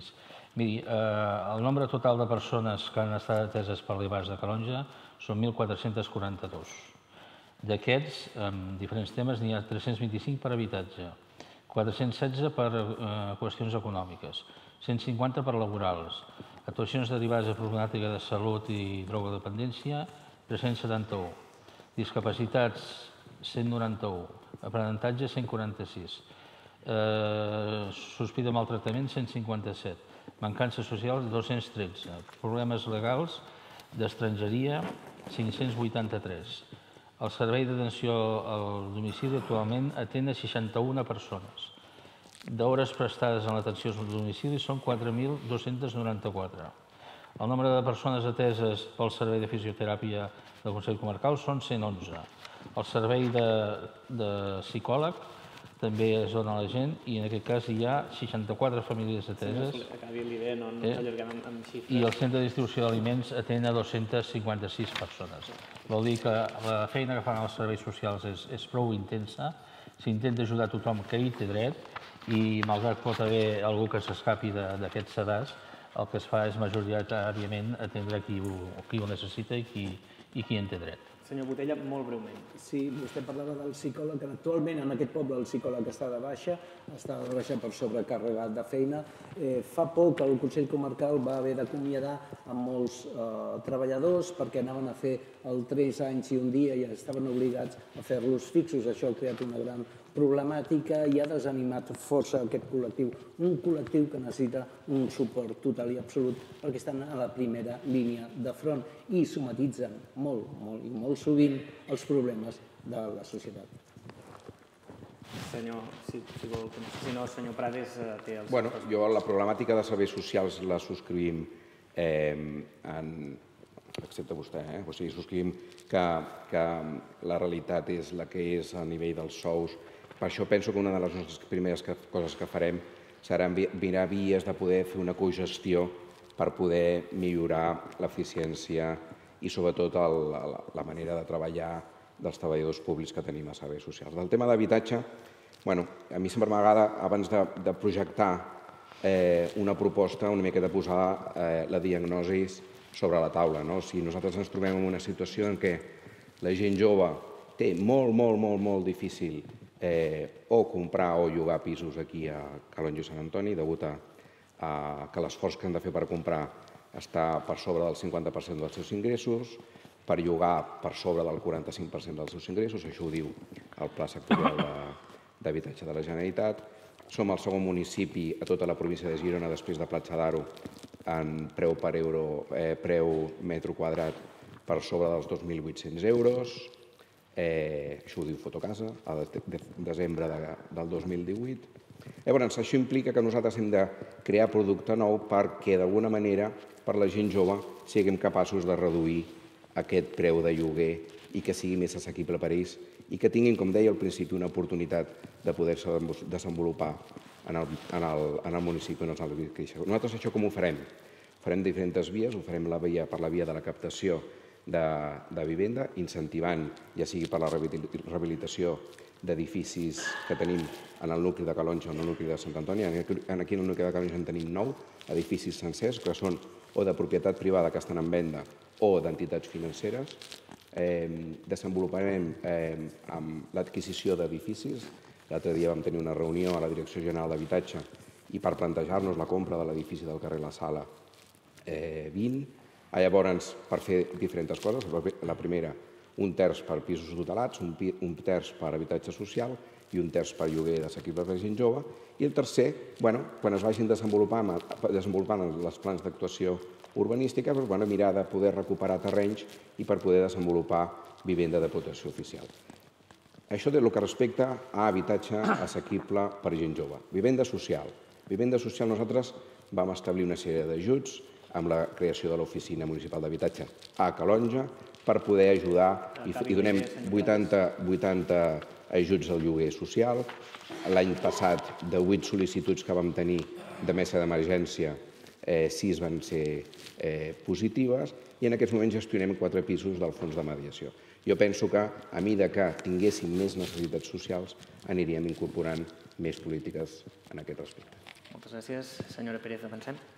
Bé, jo per començar felicito en el senyor del PP perquè ha dit una franquesa increïble, que és eh, que el PP és corrupte, no potser el millor, el millor corrupte d'Europa, però sí que és corrupte. La veritat és que m'ha fet molta gràcia i crec que quedarà la frase de que cada debat tenim una frase especial i aquesta potser serà la millor frase. Nosaltres, com, com diu el, el senyor Botella, um, el nostre, el nostre pilar també de, del nostre programa són polítiques socials. Nosaltres el primer que, que, que volem és fer un nou edifici de serveis socials. Hem de construir un nou edifici de serveis socials perquè és indispensable tenir un lloc on s'hi on pugui treballar correctament, on les persones que l'utilitzin se sentin còmodes i, com no, amb la confidencialitat que, que es mereixen. S'ha de reconsiderar les hores d'atenció del conveni amb el Consell Comarcal a fi d'atendre més, més usuaris i, i més hores. I s'han d'estudiar el projecte i construcció d'un centre obert per cobrir necessitats bàsiques, eh, educatives i preventives a infants, adolescents i famílies i d'un centre de dia per la gent gran. En temes d'habitatge nosaltres eh, tenim clar que el que volem és crear habitatge social real, rotatiu, amb durada limitada, amb un import mensual assequible i sense haver de pagar eh, entrades o fiances inassumibles per moltíssimes persones. També s'han de fer polítiques clares d'habitatge amb temes d'ocupacions i, i, i ser valents amb aquest tema, amb aquesta problemàtica que, que ens ocupa en aquest municipi últimament. Nosaltres, en temes de joventut, eh, portem un programa molt extens que intentaré resumir. El, el primer que volem fer és crear l'àrea de joventut, que no pengi de cap més àrea. Creiem que és molt important que, tingui, que, sigui, que sigui autònoma i aquesta, i aquesta àrea gestionarà l'espai jove de Calonja i el futur espai jove de Sant Antoni amb més recursos econòmics i tècnics, participant activament en l'elaboració de nou, del nou pla local de joventut. Aquesta àrea treballarà potenciant l'associacionisme juvenil, la cooperació entre joves, l'acompanyament transversal en les diferents àrees per detectar les necessitats particulars de cadascú, millorar els mecanismes públics en temes d'igualtat, en patrimoni natural i cultural i per acabar el, el bloc d'educació eh, creiem indispensable mantenir les escoles, les llars d'infants del municipi de manera òptima, posant els, els conserges que van prometre fa dos anys en els pressupostos i que no han complert. S'ha de crear taules de convivència entre les escoles per a, per a temes de col·lectius eh, culturals, ajudant a les AMPAs i posant autobusos gratuïts entre les escoles perquè tothom pugui triar a quina escola vol portar els seus fills. Moltes gràcies, senyor Belllloc, d'Esquerra Republicana. Bueno, com a representant d'Esquerra Republicana, eh, nosaltres amb el tema social mm, hi ha una, una part molt, molt important que és eh, que creiem que la, una república s'aconsegueix eh, tinguent una gent jove amb uns fonaments eh, forts. En aquest cas, nosaltres apostarem molt, molt clarament per ensenyament. Eh, la part d'ensenyament creiem que és eh, potser la part que en aquests moments tenim més, més coixa, amb el sentit de que eh, hem tingut una fuita d'alumnat, seguim tinguent aquesta fuita d'alumnat, eh, i és una cosa que no podem entendre, perquè és que tenim un municipi amb un potencial justament d'educació molt important. Tenim tres centres de primària i tenim un institut. Per tant, el potencial hi és, no entenem la fuita d'alumnat. Eh, potser és que aquest pla d'educació eh, s'ha de revisar, s'ha de contemplar d'alguna altra manera i no s'ha de desenvolupar com s'està desenvolupant ara, i sobretot una falta de recursos. Eh, les AMPAs, sobretot, es queixen molt d'aquesta falta de recursos. Eh, ens estem trobant que ara aquest Ajuntament sí que ha fet unes obres en els, en els, en els eh, diferents eh, espais de primària, però no s'han desenvolupat del tot, cosa que no entenem. Si, si hi ha un pressupost en el que es pot contemplar que, justament tenim un superàvit, eh, no entenem perquè si ja es comença aquesta obra no s'acaba del tot, en el sentit de que eh, hi ha molts tancaments a les escoles que una part s'han fet i justament la part que toca tramuntana no s'ha fet, uh, i mm, sobretot el mateix tema que ha tocat la, la, companya d'Avancem. Uh, no entenem perquè fa uns anys es va pujar un IBI amb la promesa de que aquest IBI serviria per uh, aconseguir aquests conserges tan necessaris que les AMPAs es reclamen, i no s'han desenvolupat, li deia. Uh, a part del, el, del tema aquest de, més general de, de l'ensenyament, hi ha una cosa més concreta dintre de l'ensenyament. Tenim una borsa de nanos amb 16 anys que, que no han pogut acabar aquests estudis i que estan fent cursos que quan acaben aquests cursos no són cursos reglats ni estan contemplats. Uh, és un curs mm, que poden haver estat un any fent un curs però no han desenvolupat res. Hi ha uns PFI, que aquests PFI, que venen des de la Generalitat, són els cursos que creiem que s'haurien de desenvolupar en el municipi, que serien amb titulació arreglada. Senyor Soler, senyor Prades i després el senyor Casas. Senyor Soler. Bé, molt, molt breument, quan això, la, la darrera cosa que ha dit d'aquests cursos, tenim ja de cara a l'any que ve cinc places per cinc persones, eh, conjuntament amb, amb el municipi de Palafrugell. I en quant al tema que ha dit de que, que l'ensenyament és la part més fluixa o la part més, més coixa, eh, poder seria bo que s'ho fes mirar perquè el director dels serveis territorials d'ensenyament va a la seva llista. Sí, senyor. Sí, senyor. Senyor Prades. Puc fer, puc fer la rèplica abans? Uh, faci la rèplica breument. Uh, els, els, uh, ensenyament al municipi, el, el que és l'ensenyament a les escoles, hi han dues branques. Hi ha una branca que toca, com ha dit el senyor Soler, el senyor Martí Fonalleres, que és el cap eh, territorial, i hi ha tota una altra part, que és la que les AMPAs es queixen, de que és, eh, que és competència de l'Ajuntament. Hi ha una cosa que va sortir en l'últim ple, que sí que és eh, una cosa que depèn d'ensenyament, que el senyor Fonalleres després va tenir, eh, es va reunir amb les persones que van venir al ple per poder parlar d'això, que és la jornada continuada. Però el que és el manteniment de les escoles, això no depèn d'ensenyament. O no? Bé, li diré, li diré, Li diré molt fàcil. Uh, Tancarem aquí el tema i li passarem la paraula al senyor sí. Prades. Eh? Uh, jo he estat reunit amb les presidentes de les AMPAs aquest darrer mes i asseguro que no m'han manifestat cap queixa al respecte. Pues serà, Els... pues serà vostè. Me deixen acabar, sisplau. Yo he estado reunido eh, i a mi no m'han manifestat ninguna queja. El que feia referència a les obres, eh, es tractava de les obres de la Sínia, que estan encara en garantia i que va quedar clar que des d'ensenyament això es, es miraria. Eh? I pel que fa respecte a les demandes que van fer el Col·legi de la Mercè i el Col·legi, de, perdó, el Llevantí de Mar i el Col·legi del, del Pere Rosselló i també de la Sínia, aquestes demandes han estat satisfetes i a plena satisfacció de les, de les presidentes i de les directores, segons va manifestant. Acabem, acabem de fer la ronda i de cas després per per ordenar el debat, eh? després els, els tornaré a donar la, la paraula perquè si no perdrem el fil de, del que volia dir el, el senyor Parades i el, i el senyor Casas. Vaig jo? Sí. Sí. Dues cosetes, eh, senyor Belloc. Sí. Que vostè es pregunta, es pregunta per què cada vegada hi ha menys, menys estudiants eh, a les escoles. He interpretat això. Um, no, hem... perquè hi ha més fuga d'alumnat cap a altres municipis. Bueno, eh, del 2007 al 2014, 500 nanos de 25 a 35 anys ens van deixar. Es van anar a altres municipis a viure perquè no hi havia política d'habitatge, perquè no hi havia política de joventut. Uh -huh. Llavors, per sort, en aquests quatre anys, del 17% de la població d'aquestes edats, hem sigut capaços de parar-ho al 12% i ara estem creixent.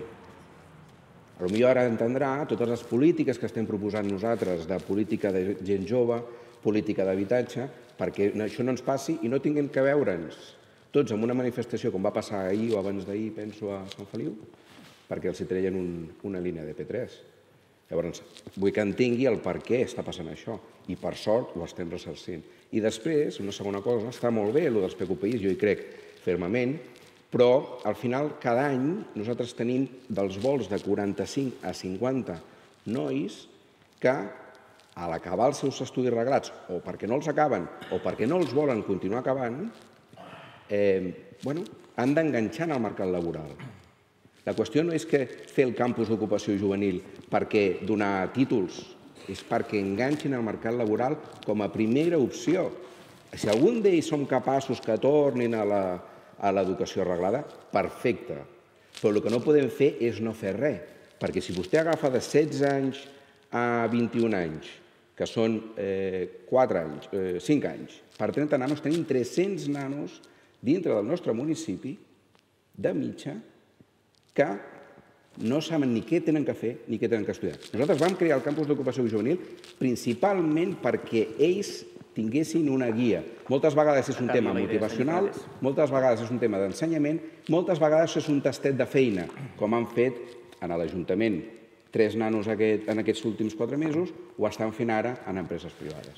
Senyor Casas, m'agradaria demanar el Constatar i reforçar la idea que amb això és que ens hem de posar d'acord tots. El pla de formació i inserció tenim eh, el tema de l'agricultura, i de la recuperació de la pedra seca. És que és impossible que no ens posem d'acord. A més, jo m'atreviria a dir que tot s'ha d'aconseguir perquè no és molt car i dona i pot tenir possibilitats d'inserció no, laboral però, per joves. Però no, no només depèn de nosaltres, eh? No, no, però com a mínim nosaltres ens hem de posar d'acord. Però que aquí ens posem ben fàcil. Perquè, perquè per els joves, i remarcar, els joves i els infants ha de ser la prioritat absoluta. I, i, i en el tema de la, de, que comentaves, Miquel, eh, en el tema de, de, de les escoles ha d'haver-hi tots els recursos allà. És el futur, és el més important. És que no podem... Ens hem de posar d'acord segur, segur, segur. És impossible que no ho fem, perquè si no ho fem els hi fem un mal eh, molt gran ells, no? Senyora Pérez i senyor Borella. Jo, molt breument, o sigui, em, em, sembla, em sembla molt fort que es digui que les, que les escoles tenen un manteniment òptim com, quan no és així. Vull dir, en els consells escolars eh, eh, se succeeixen queixes constants de les diferents escoles en què no hi ha el manteniment que toca, en què no hi ha els concerts que es va prometre fa dos anys. Per tant, es pot dir que es pot millorar i que es vol fer i que es vol plantejar, però dir que estan bé i que tothom està content, això, això és mentida i per tant jo crec que ha de quedar clar de que tots ens podem posar d'acord en que les escoles eh, són molt importants i que han de ser un puntal i que s'han de tenir un manteniment òptim i que s'ha de posar tots els recursos que toquin, però com a mínim dir eh, eh, que no, no dir mentides i dir que està tot perfecte, perquè realment tenim un problema amb el Llevantí de Mar, tenim un problema amb el Pere Rosselló i també tenim un problema amb la Sínia que, que no hi ha el, els recursos i no hi ha les coses que realment tocarien, que són eh, molt importants perquè els nostres fills i filles doncs, puguin tenir una escolarització normal. Senyor Botella. Sí, una reivindicació històrica a nivell eh, educatiu és un cicle formatiu pel Puig Cargol i un, un, una persona important d'ensenyament que va a les seves llistes el eh, senyor Miquel Batlló ja ha dit a la directora que això no ho donarien mai i en qualsevol cas que donarien és una selectivitat en francès, cosa que nosaltres entenem que no és idoni pel nostre municipi. Per tant, quan fem les polítiques i les reivindicacions, apostem tots i apostem, diguem-ne, a tot cas, totes les persones, especialment les que tenen responsabilitat. Gràcies. Senyor Mas. Yo solo un segundo. Tengo un hijo de cinco años que está escolarizado en el Llevantí de Mar. Decir que la directora está encantada y no tiene ninguna queja y que la Asociación de Padres de Familia estamos encantados, vamos, yo, se pueden decir, como decía ella, muchas cosas. Pero ¿dónde está nuestro conserje? ¿Dónde está el dinero para mantener los terrenos que tenemos allá? Y en ese momento estaremos. Y luego una cosa muy bonita, la subvención llega 10 días antes de las elecciones. Fantástico. Fantástico. Senyor Soler, després ho donaré al senyor, al senyor Belló perquè abans hi ha hagut una al·lusió i, i se m'ha La, passat. la subvenció arriba quan es justifica. Sigui 10 dies abans, sigui un mes o sigui un mes després. Quan es justifica, arriba. La paraula encantado, jo no l'he dit, eh? he dit que a mi no m'havia manifestat el desacord amb el, que jo, amb el que jo deia. Per tant, li reitero, i encara fa dos dies vaig parlar amb la presidenta de l'AMPA del Llevantí, del, del Llevantí de Mar i, i de la Sínia, eh? i no em van manifestar res en contra al respecte. Per tant, estic parlant de temes molt i molt eh, recents. Eh? I en el darrer mes he parlat amb les tres directores, quatre, en aquest cas el Puig Cargol ta- també, i eh, amb les tres presidentes de l'AMPA. I reitero el que a mi se m'ha traslladat. Jo no li puc dir que estan encantades perquè sempre hi ha coses a fer. Això ho podem entendre tot amb escoles que tenen 50 anys. Eh? Sempre hi ha coses a fer, però que els anem fent paulatinament, això també. Senyor Belloc. Uh, lo de les, les polítiques d'inversió a les escoles, mm, em sap greu tornar-li a dir, senyor Soler, però mm, ho sento molt, però no és veritat que les, que les escoles estiguin contentes. Uh, contestant al senyor Norbert Botella, uh, doncs sí senyor, repeteixo, el senyor Martí de Fonelleres és el director general d'ensenyament i com li he dit al senyor alcalde, el, el, No, no li pugi el càrrec, eh? Ah, perdó, el director territorial d'ensenyament. Sí, sí. Uh, I com li he dit al senyor alcalde, el director territorial d'ensenyament uh, té les competències que té. Uh, jo, uh, està, el Martí està a les nostres llistes. Jo, uh, amb el Martí, uh, estem intentant millorar les accions que es fan des de l'Ajuntament d'aquest municipi per millorar les escoles. I, lògicament, si jo puc eh, amb en Martí parlar directament i agafar que, que aquest diàleg sigui molt més directe de les escoles en l'ensenyament, es farà.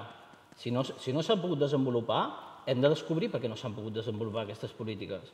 I si, i si, no és, i si és un problema territorial de Girona, doncs descobrir per què. Potser és perquè aquests mateixos cursos s'estan fent en un altre en un altre municipi i no es poden destinar els recursos en els dos municipis. Per tant, intentem parlar-ho que podem desenvolupar altres polítiques eh, municipals, altres, polítiques, altres cursos a través d'ensenyament en, en el, en el, en el, en el, en l'Institut Cargol, doncs desenvolupem altres polítiques, però és que dir que eh, el dimoni coat és una sola persona, em sap molt Senyor. greu, però eh, això no té cap mena de sentit. Se- Senyor Belloc, anem acabant eh, aquesta qüestió perquè portem ara ja un minut i vint i encara ja els hi dic ara, jo no sé quina pregunta li ha tocat a cada un de vostès, però sí sé quines preguntes hi han a les preguntes sorpresa i ja els hi dic ara que segurament també generarà debat. Senyor Soler, els seus dos minuts. Sí, molt ràpidament, eh, volem convertir i Sant Antoni en un municipi absolutament inclusiu i accessible per tothom i hem anat treballant i volem eh, confirmar i acabar amb, aquest tema i volem treballar en xarxa també amb els entitats referents a la zona. Eh, Bímar, eh, Tramuntana, eh, Fatram, eh, Associació Pots, etc. Eh, volem també continuar amb la supressió de barreres eh, arquitectòniques, eh, fomentar l'accessibilitat als locals privats, potencialització i de l'accés de les platges noves vies d'accés per a gent eh, necessitada, el manteniment i creació de noves línies de vida a, les platges, promoure l'adaptació d'activitats impulsades eh, des de les àrees municipals i continuar amb l'adaptació de parcs infantils i zones verdes amb persones amb mobilitat eh, reduïda. Volem la dinamització dels dos casals de la gent gran, buscant un coordinador d'activitats per, eh, per als casals i mm, per tal de que es potenciï la creativitat de la tercera edat i es promogui l'activitat física també per la, per la gent gran. Volem potenciar i treballar amb, les, amb els infants del municipi. És, evidentment, s'ha dit aquí i ho confirmo, estic absolutament d'acord, és el nostre futur i a través de les escoles millorar els sistemes educatius. Hem de millorar el bon funcionament de les escoles. Hem de crear un, un hotel d'entitats eh, nou per fomentar la vida associativa, crear de l'oficina d'atenció a les entitats. Eh, últimament, per part de, de la legislació, se'ls demana moltes més eh, temes burocràtics. Que penso que entre tots els hem d'intentar eh, ajudar. La creació de l'Espai Jove a Sant Antoni de, de, que en aquests moments no, no, no hi és, la creació de noves vivendes de protecció oficial, el senyor Prates n'ha fet referència, i sobretot la construcció del nou CAP en els terrenys que estem ultimant ara la seva, la seva compra, que és un lloc absolutament cèntric. És un tema demanat històricament pel CABE i ara per la Fundació Hospital de Palamós i hem de centralitzar els nostres espais eh, medicalitzats allà per tal que tothom en pugui gaudir el temps que faci falta. Estem parlant d'un CAP com el que té Platja d'Aro o com el que té Palamós, que és el que s'ha conveniat amb, amb l'hospital. Com els deia, portem una hora i vint de debat, encara queda el tema projecte de país, tema sorpresa i el minut per demanar el vot. Anem el tema projecte de país. Projecte de país, eh, com vam fer aquest tema, a què ens referíem?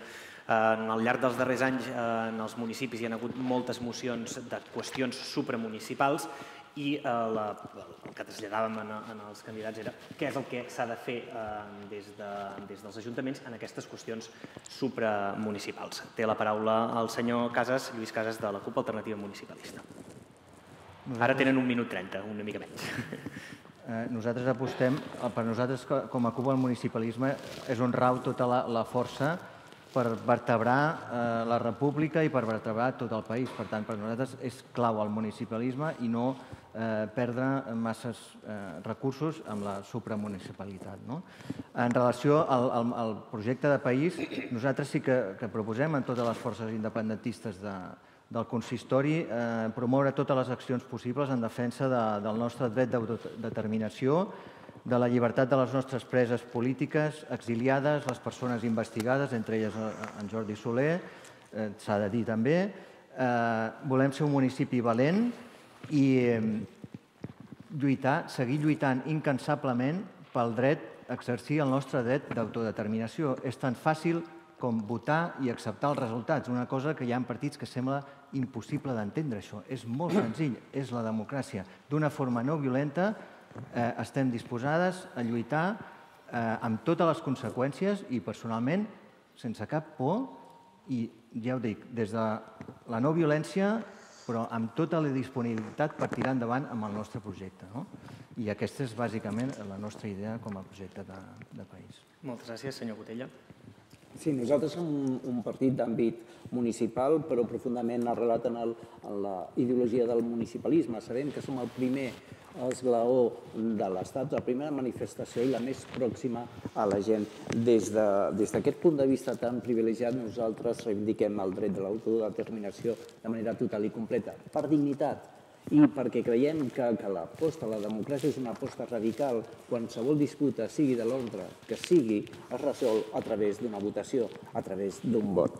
Nosaltres eh, som independentistes i donarem suport a qualsevol govern de la Generalitat que eh, gosi arribar fins a les darreres conseqüències en el, el procés independentista. Som un partit d'àmbit local, però del pensament global. Eh, ens enamoriria eh, eh, completament una nova república. Gràcies. Moltes gràcies. Senyor Mas. Bueno, supongo que lo que voy a decir yo no va a sorprender a nadie. y voy a decir cosas que son muy evidentes. Calonge y San Antoni es un municipio catalán, pero es un municipio español y por ello es un municipio europeo. Y consideramos que así tiene que seguir siendo. Quienes busquen declarar la, independencia de Cataluña nos tendrán enfrente. Les combatiremos. La única candidatura en estas elecciones que se presenta a favor de la unidad de España, a favor de la Constitución y los derechos que ella nos da, es la nuestra, sin matices. Hay otros partidos que también son constitucionalistas, pero que según qué mociones parece ser que no que tienen dudas. Nosotros consideramos que el imperio de la ley es un principio absolutamente innegociable y consideramos y sabemos que la Constitución española del 78 es, ha sido y será el marco legal ideal para garantizar el derecho, los derechos y las libertades de todos los españoles, empezando por los calongins, por los catalanes y por el resto de nuestros compatriotas. Evidentemente, estando nosotros en el, en el gobierno, procuraríamos, en el gobierno municipal, procuraríamos no ocupar el espacio público, no izando banderas españolas en todas las placitas y poniendo banderas, pero tampoco permitiendo ni lazos amarillos ni banderas estrelladas que no representan el sentir de toda la población, sino de una parte solo de esa población. Mayor o menor, en este caso muy grande, lo sabemos, pero también nosotros somos dignos de ser respetados. Senyor Prades. Bueno, evidentment nosaltres no som un partit independentista. Jo personalment no sóc, no sóc una persona que, independentista. Jo, aquí hi ha clarament dos, dos, dos blocs. Eh, el PP i nosaltres seguim els constitucionals, la resta són partits eh, primàriament independentistes, però aquesta penso que no és la discussió, perquè per nosaltres, al meu parer, el 28 d'abril, quan va haver les eleccions al, al Congrés, eh, va quedar clarament eh, que el diàleg era un dels principis més importants per poder desenvolupar els següents passos. Eh, és una llàstima que això s'ha perdut en els últims dies, però bueno, jo suposo que també hi ha molta estratègia i molt, i molt tacticisme polític degut a les eleccions que tenim d'aquí uns dies. No? Però la veritat és que jo agafaria com a referent eh, les coses que ens uneixen i no les coses que ens separen. Perquè al final, si les poséssim en una llista, allò de pros i contres, ens uneixen moltes més coses de les que ens separen. I m'agradaria també agafar com a exemple els últims quatre anys de govern. Nosaltres hem governat amb un, amb, amb, amb un partit eminentment eh, proindependentista, però ens hem agafat aquelles coses que ens uneixen per treballar pel futur de tots plegats. I a mi m'agradaria que el país que surti pensi així, que pensem en les coses que ens uneixen i no en les que ens separen, perquè entre tots, amb les que ens uneixin, podem treballar per un futur millor. Senyora Pérez.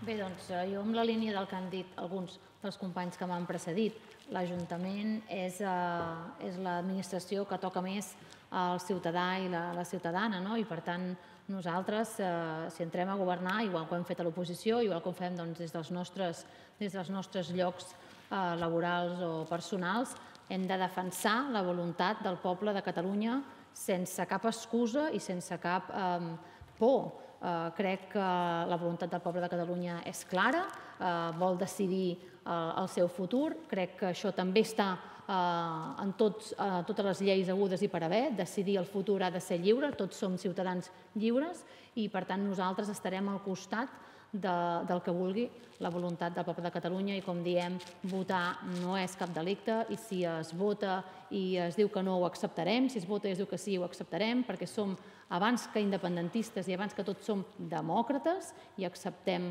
els resultats de, de les urnes.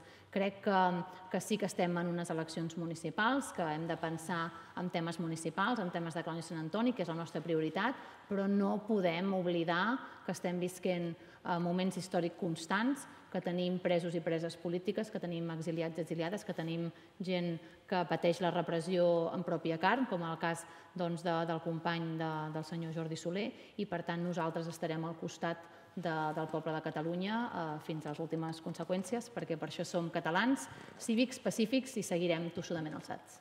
Moltes gràcies, senyor Belllloc. Bueno, fa quatre anys ja va quedar bastant clar aquí en el municipi eh, i el 28 del mes passat encara va quedar més clar que tenim, vivim en un municipi clarament eh, catalanista, clarament independentista. Fa quatre anys els partits més votats van ser eh, en aquell moment Convergència i Unió i Esquerra Republicana i seguit de, del grup d'Avancem. Uh, per tant, nosaltres creiem que les polítiques municipals s'han de desenvolupar sobre l'empar d'aquesta república que volem tirar endavant tots. Per tant, els valors de transparència, d'igualtat, d'igualtat no només uh, de drets, sinó d'obligacions, i també aquest respecte social. Doncs basem aquestes polítiques municipals, uh, perdó, aquestes polítiques generals s'han de basar en aquestes polítiques municipals i la base és el municipi. Per tant, des de la base és on traurem endavant aquesta república catalana i creiem que aquests valors són els bàsics per tirar un, tant un govern municipalista com un govern eh, de, de país. Moltes gràcies, senyor Belloc. Senyor Soler. Sí, gràcies. Bé, mm, durant tots aquests anys eh, nosaltres hem considerat que el municipalisme és peça clau en la construcció de, del nostre país i en el nostre camí cap a, cap a una república. Això és evident i sempre des del municipalisme s'ha aguantat el que era el país i la mostra és aquest, aquest procés que hem tingut, que ha sigut un procés que ha anat de sota cap a sobre de, del poble més pla cap, a, cap als, als seus eh, dirigents polítics. No l'ha fet la política, el procés l'han fet, fet la, la seva gent. Per tant, nosaltres, com a, com a polítics locals, per dir-ho així d'aquesta manera, hem d'estar amb el que ens dicti la nostra gent, hem d'estar amb el que, al costat del nostre govern i hem d'estar també amb el que dicti el Parlament de, de, de Catalunya. No podem obviar i no acceptem el tema de que hi hagi en aquests moments presos eh, polítics ni que hi hagi un president exiliat amb altres eh, membres del seu Consell exiliats.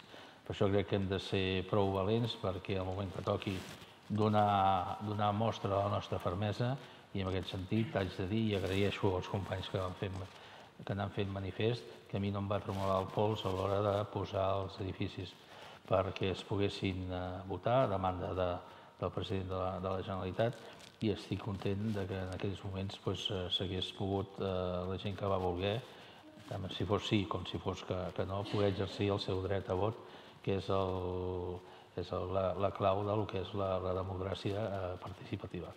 Per tant, mal, malgrat eh, jo pugui estar investigat eh, per, per aquests fets, el que vull remarcar és que, sobretot això, que el municipalisme és, és, és un tema clau aquí i que, sobretot, ha sigut un procés de sota cap en sobre. Moltes gràcies a tots. Ara entrem en un dels temes que ha sigut més divertit i que ha generat més, eh, més debat en, en els debats que portem d'altres municipis, que és el sobre que els repartíem a l'inici, aquest tema sorpresa. Preguntes, recordem que ha fet la gent o a través del nostre correu electrònic o a través de les xarxes socials o eh, preguntar, demanant directament a eh, gent que treballa a Televisió Costa Brava, donant-los directament aquestes, aquestes preguntes. Aquests, eh, aquestes preguntes les hem posat a dintre uns sobres i a l'inici d'aquest debat els he repartit en els, en els diferents candidats. Jo sé quines preguntes hi han, però no sé qui ha tocat cada pregunta. Per tant, eh, seguint l'ordre que hem fet en els debats, els agrairia que llegís, llegissin la pregunta abans de, de contestar-la. Senyor Casas. La pregunta que ens ha tocat és eh, els pobles veïns tenen unes festes majors molt reconegudes i nosaltres no. Què pensem, què pensem fer per potenciar-la? Bueno, nosaltres, eh, eh, en aquest sentit, eh, ja n'hem parlat abans, no? recuperar doncs, una, una comissió de, de festes eh, ens sembla molt important perquè segurament hi estarem d'acord, no? les entitats són les que, i, i, i en si el poble és el que de, ha de decidir com han de ser les festes majors si no escoltem les entitats, si no creem una comissió on puguin eh, proposar eh, i decidir quines són les festes, com potenciar-les, eh, com crear-ne, eh, impulsar-ne, les que hagin quedat doncs, més en, en l'oblit, això per nosaltres és importantíssim. Per tant, eh, totalment d'acord i nosaltres apostar per una, un acord i aquesta comissió, però sobretot en, en què la veu cantant siguin les entitats eh, culturals eh, i que són les que també ens han d'ajudar a impulsar i que tenen la veu per decidir això. Però clar, si no les escoltem, llavors és, és molt difícil d'arribar no, a respondre a aquesta pregunta. No? Moltes gràcies, senyor Casas. Senyor Botella.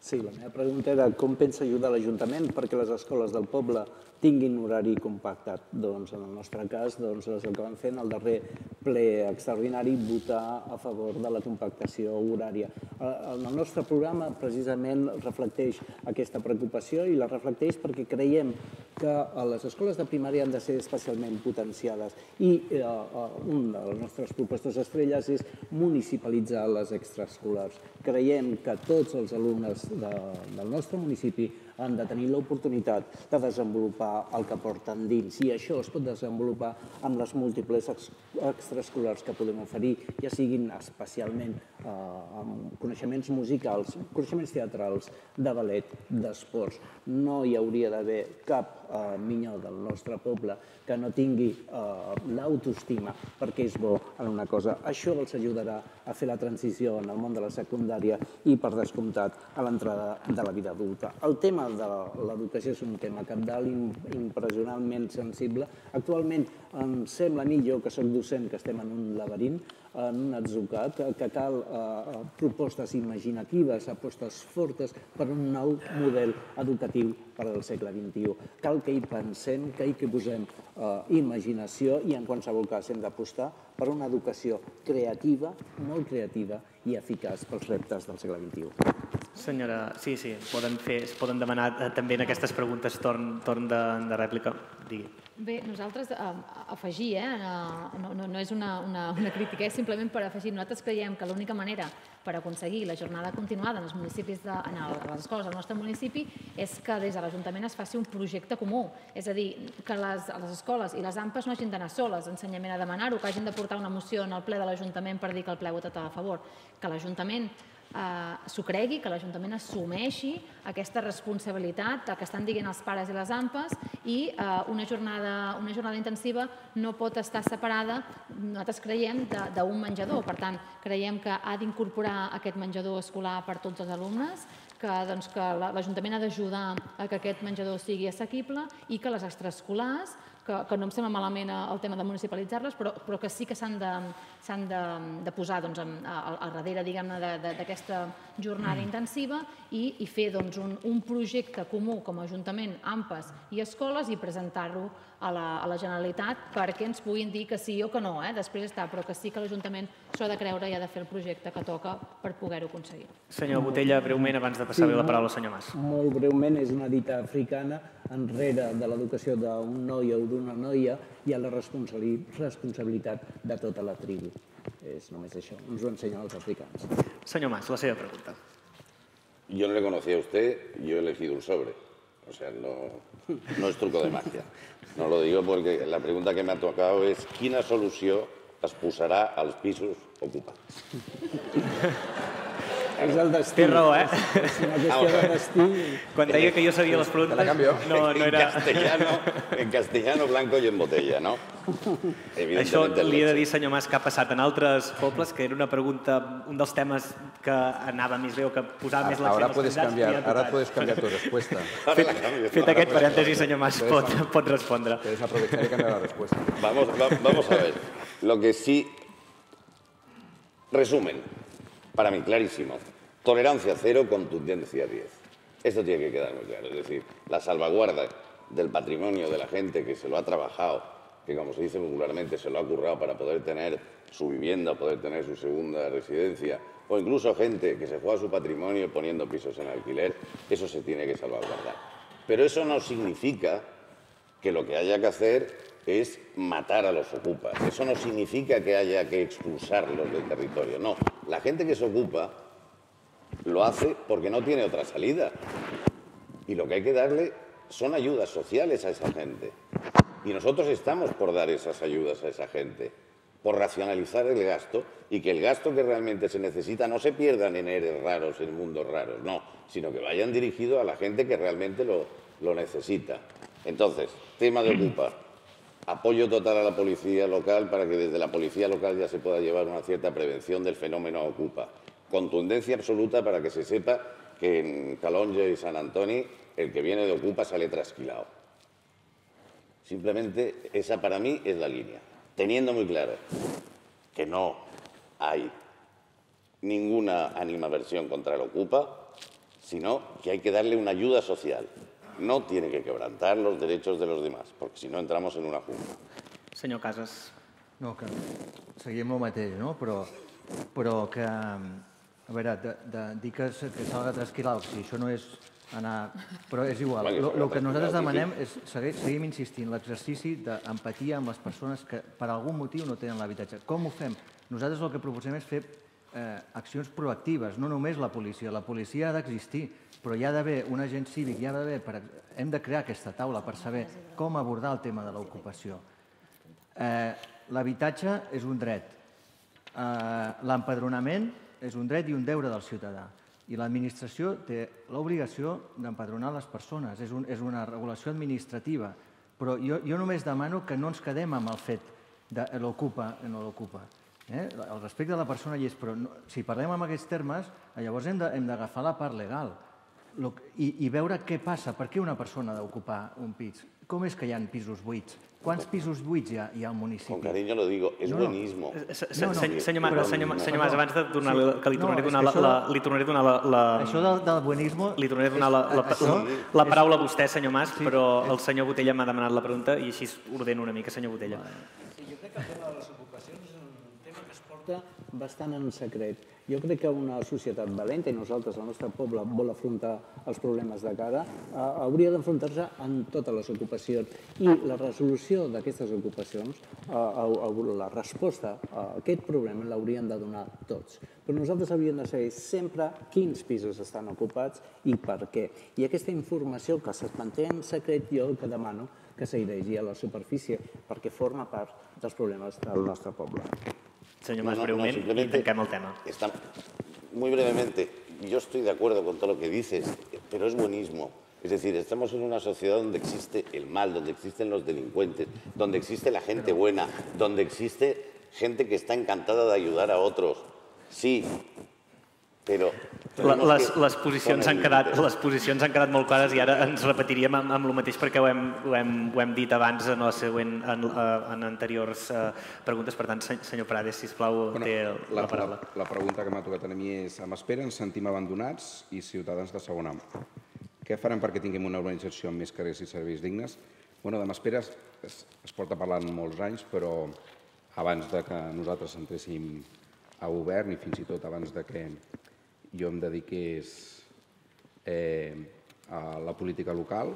La veritat és que eh, la situació de l'organització és una situació a l'actualitat molt complexa, però la veritat és que en els últims anys s'han donat uns passos que penso que són importants per tenir una solució.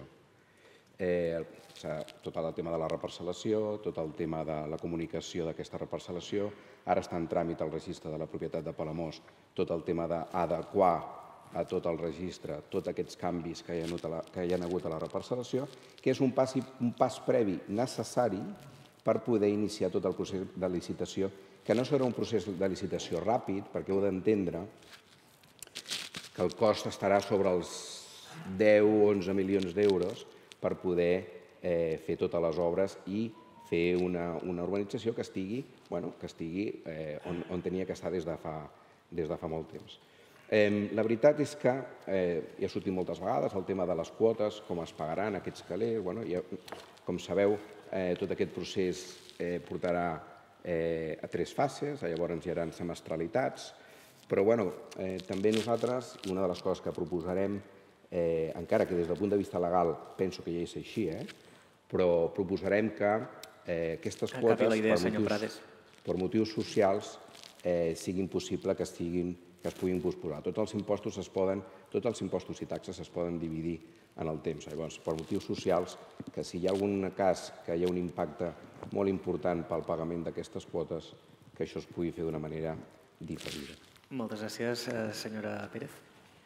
Ha dit, la pregunta m'ha tocat, hem gastat molts diners amb el castell, quan el podrà utilitzar el poble? I això és una pregunta que jo me la puc posar aquí davant perquè m'ha preguntat el mateix, però eh, intentaré respondre de cares, mirant de Tampoc, cares a... tampoc eh, li hem donat com el senyor Mas, eh? Ha sigut sí, atzar, sí, eh? Vull dir, però, però jo em pregunto el mateix. De fet, és una cosa que ens preguntem constantment de estem eh, dipositant en una inversió en un castell que no és nostre i que no sabem mai quan el podrem utilitzar. Per tant, eh, també és una, és una pregunta molt d'allò. Nosaltres el que volem fer és, eh, com hem dit en des diferents punts que hem, que hem parlat, hem parlat del castell en gairebé cada punt, és obrir-lo, eh, obrir-lo i que les entitats del municipi la puguin utilitzar, que la gent del poble el pugui veure, que els visitants, quan arribin al poble, es vegin una oficina de turisme oberta i que el puguin visitar i que se'ls pugui explicar la història viva d'aquest poble que tenim i que, i que sembla, sembla no, que no, no la sabem i, i nosaltres el que volem és això, és que el castell estigui obert, que el castell s'acabi o que no s'acabi amb els diners que s'hi han posat, que ara són, em sembla que 400.000 euros més, eh, per acabar doncs, la última fase, però que tota la resta doncs, que, pugui, doncs, que es pugui utilitzar i que es pugui d'allò. Jo crec que hi ha una, una, un tema no?, que és donar les claus del castell a les entitats, és, és, és perquè s'entengui el, el fet de que les entitats del municipi necessiten ubicacions, necessiten llocs on poder mm, fer les seves activitats, les seus, els seus actes, el que sempre ens ha agradat i el que, i el que sempre hem, hem gaudit. No? Són les, que, les responsables de que haguem gaudit moltíssim de moltíssimes coses. Per tant, doncs, el castell s'ha d'obrir, s'ha d'obrir ja, i, eh, i espero doncs, poder respondre a aquesta pregunta amb una, data, amb una data exacta a partir del 26 de maig. Moltes gràcies, senyor Belllloc, per, per contestar no, aquesta qüestió. No, no, o sigui, només perquè és que justament també és, és un tema que sempre hem, hem comentat, que és que no només és, és el que comentava l'Elisenda, sinó que és també lligat a el que jo havia comentat de, de dinamització. Per tant, si tu tens un castell obert i tens un castell actiu, Eh, i tens les entitats del poble dintre d'aquest castell, com eh, eh, hi ha una circulació de gent. Si tens una circulació de gent, circulació de gent i tens gent jove corrent per dintre del poble, tornes a tenir vida, tornes a tenir ànima, i després això és el que t'aportarà tot, tot, tot l'altre. Per tant, el castell té que estar obert, sí o sí? Senyor Soler, per contestar aquestes dues qüestions. Molt, molt ràpidament. Uh, malgrat falti una última fase i la fase final de museïtzació, que ja ha estat estudiada i per tant ja, ja se sap com ha de funcionar. El castell fa, fa molts anys que està obert i que s'estan fent actes. Vostè mateixa fa diumenge passat hi va fer un acte allà i no hi va haver absolutament cap, cap problema. Eh, demà també els festivals de música hi fan, hi fan un acte, per tant està, està obert.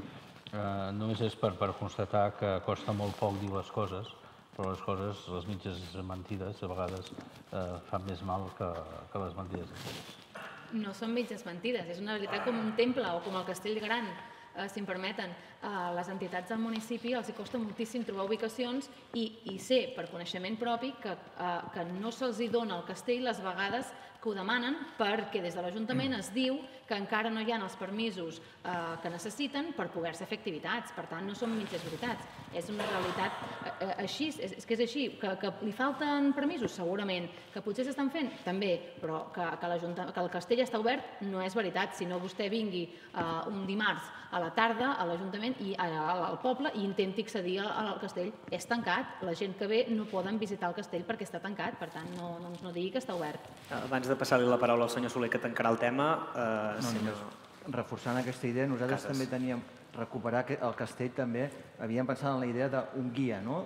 d'obrir eh, en activitats eh, amb un guia cultural de la ciutat eh, que pogués mostrar el castell, que pogués ensenyar, tot, i, i no només el castell, però clar, ens sembla que és el que deia l'Elisenda, ha d'estar obert, les entitats han de poder fer-ne ús perquè, perquè és, és de tothom. Llavors això, impulsar-ho i treballar-ho moltíssim, però és, ha de ser ja també. Senyor Soler, per tancar no, el tema. No, estic d'acord amb vostè, per, per, per, s'ha de tenir un guia, s'ha de tenir un, un projecte de, de, de, de, de gestió i amb això s'hi està treballant per quan estigui completament acabat. Però sí vull, vull manifestar que ningú se li ha dit que no podia utilitzar el castell perquè no hi havia permisos. Això no és cert L'única cosa que com a molt s'ha limitat a l'ús és a les zones on hi havia o s'estaven fent obres en aquell moment. Senyor Belllloc, quina pregunta li ha tocat a vostè? Oh, és bona. No és cap broma, eh? Hi haurà dispensari nou o ens posaran un ascensor vell? poden, poden cridar tongo-tongo si així ho creuen convenient, però no n'hi ha hagut. Bueno, com suposo que ja sabeu, Esquerra Republicana van presentar fa uns mesos ja una recollida de firmes justament eh, de quasi 200, 197, si no, 197 o 98, si no m'equivoco, eh, justament demanant que es posés un ascensor en el consultori de, de Calonja. A veure, tenim la sort i la desgràcia en aquest sentit, de, perquè tenim un, un, un, un municipi amb dos nuclis de població molt separats, i tenim la, la sort de que ara actualment tenim dos ambulatoris, un a cada nucli de població. Uh, quines mancances té? Home, si estem parlant que només la mancança principal és que uh, a Calonja uh, és un, un, una àrea que té dues, dues, uh, dos pisos i que l'única mancança que té és que hi ha gent que no, es pot, no pot pujar en el segon pis, home, potser és que el més, el més senzill és això, no? en comptes d'agafar i muntar un ambulatori nou. Home, un, i a part, un ambulatori nou. Un ambulatori nou que la ubicació serà enmig de la recta de... o més o menys, suposo, al mig de la recta de, de, de Calonja i Sant Antoni. Això implicarà un problema de desplaçament. Si la gent gran ja té problemes per baixar fins aquí, com els faràs, els faràs anar fins a, fins a la recta de, de, de, de, de Calonja. Però és que no només la gent de Calonja, sinó que la gent de Sant Antoni, és que la gent de les organitzacions.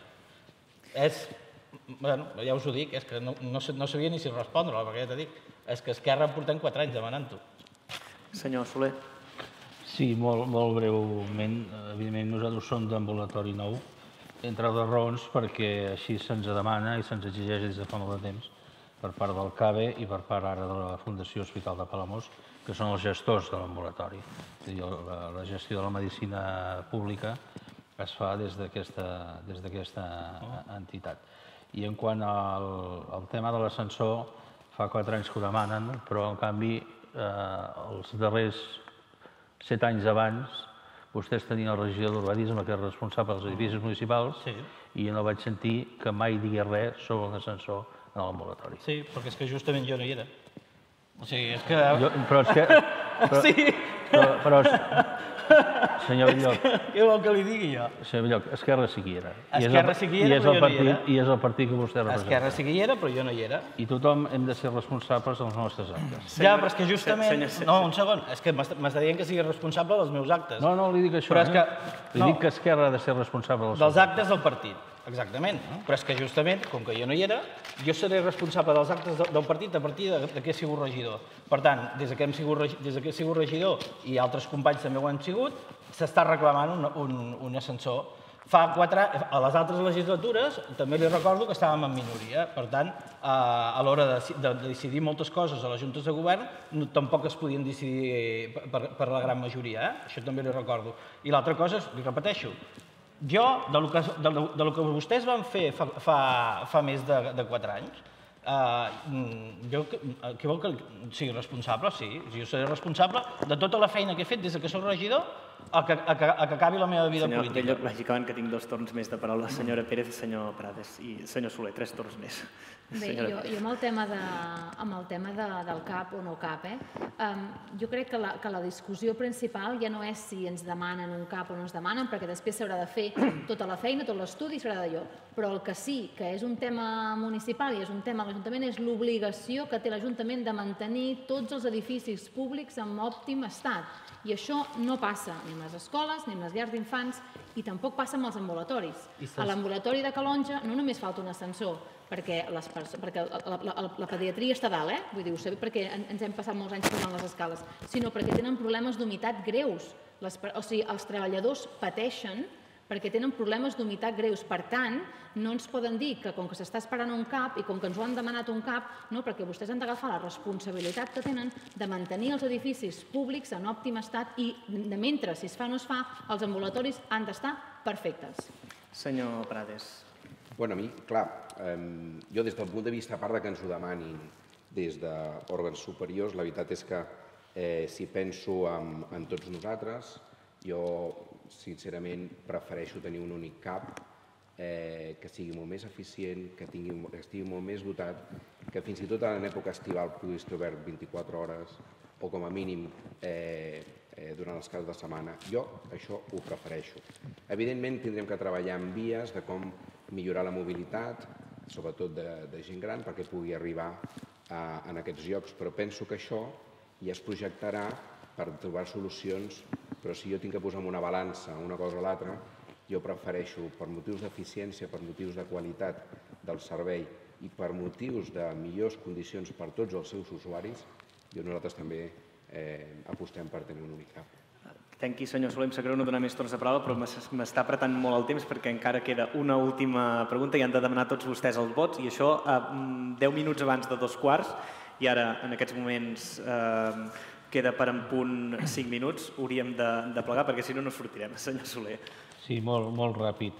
Jo no sé, senyor Belllloc, si no, no m'ha entès o poder m'he expressat malament, segurament és això final, però jo no m'he referit mai a vostè. Jo m'he referit que els darrers set anys abans d'aquesta legislatura, Esquerra Republicana havia estat a l'equip de govern i havia tingut la regidoria d'urbanisme eh, i amb aquesta regidoria una de les seves competències era els edificis municipals. Sí.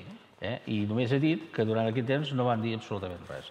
I referent a l'altre, eh, evidentment, amb una que ha dit el senyor, el senyor Prades, apostem per un edifici nou, modern, que és l'exigència que ens està fent arribar a la regió sanitària. Em sap greu tallar el debat aquí. Fes fàcil l'última pregunta. Bé, com no podia ser d'una altra manera, què proposen per solucionar de forma definitiva la problemàtica de la sorra i els espigons a la platja de, de Sant Antoni? Bé, aquest tema, el primer que haig de dir és que no és una competència municipal, malgrat que la, el municipi eh, hi hagi treballat, hi hagi treballat moltíssim i hi hagi destinat molts recursos. És un tema de competència de, de l'Estat i, per tant, eh, amb ells s'hi ha treballat a, a aquest temps. L'any 2003, quan vam entrar, ens vam trobar amb un projecte i efecte, no era, de, no era del gust de, de la gent, i per tant es va, es va haver de, de, de, de re, re, renegociar amb el, amb el Ministeri i eh, això va donar peu a una sèrie de sessions eh, participatives amb la gent en la que van manifestar que volien mantenir el sistema actual d'espigons protegint el que era la, la platja.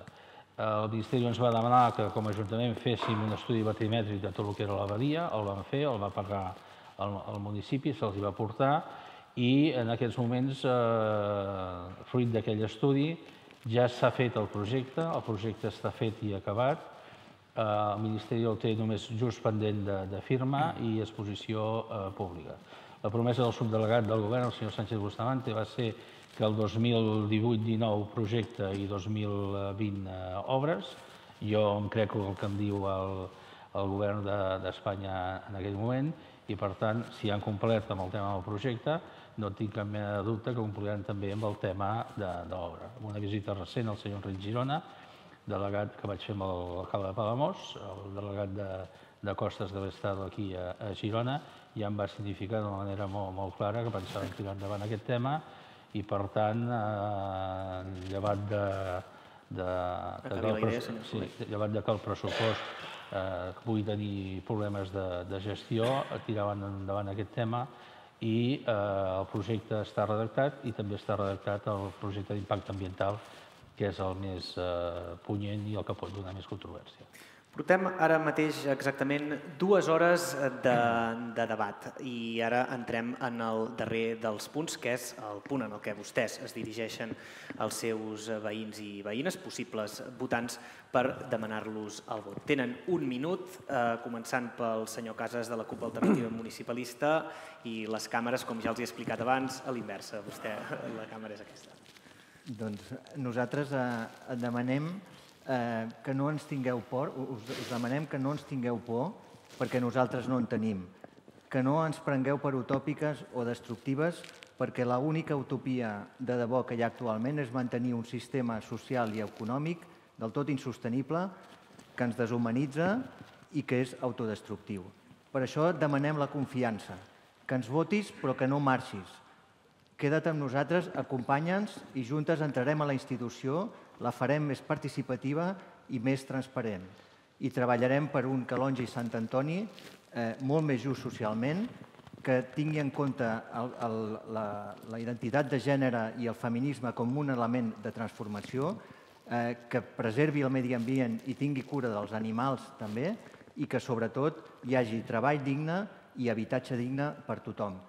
Per això et demanem la teva confiança, engeguem l'alternativa i moltes gràcies. Moltes gràcies, senyor Norbert Botella, de Republicans de Calonge i Sant Antoni. Sí, els republicans de Calonge i Sant Antoni han nascut per ser la teva veu i la teva veu l'hem recollida en el nostre programa electoral. Per tant, eh, part del mèrit d'aquest programa te'l devem a tu. Eh, nosaltres som una candidatura diversa, probablement la més diversa de totes les que es presenten avui, i aquesta és la nostra riquesa, i aquesta és la nostra il·lusió, la nostra passió política. Nosaltres defensem que totes les persones són part del problema, però alhora, i molt especialment, que totes les persones són part de la solució. Nosaltres et demanem, si plau, que ens feu confiança i que ens doneu el vostre vot. A les il·lusions dipositades en el nostre partit segur que seran recompensades. Gràcies. Moltes gràcies, senyor Alberto Mas, del Partit Popular. Gracias. Si yo fuese alcalde, esta es la pregunta. Cambiaríamos muchas cosas en el ayuntamiento. La primera sería aumentar la seguridad en la calle en Calonge y San Antonio. Tendríamos tolerancia cero con la delincuencia. Una segunda medida, bajaríamos los impuestos rápidamente, como estamos haciendo en otras comunidades donde estamos gobernando. La tercera sería la inmediata supresión de nuestra adhesión a la, Socie- a la Asociación de Municipios para la Independencia y solicitar la devolución de las aportaciones dinerarias efectuadas, ya sea a esta asociación o a los que encargaron el pago de las mismas. Solicito el voto a todos nuestros vecinos que consideran que la Constitución del 78 representa nuestra garantía para seguir siendo ciudadanos libres con plenos derechos y que saben que esta Constitución nos ha traído la mayor época de prosperidad jamás tenida en España. Por ello les pedimos el voto para el Partido Popular.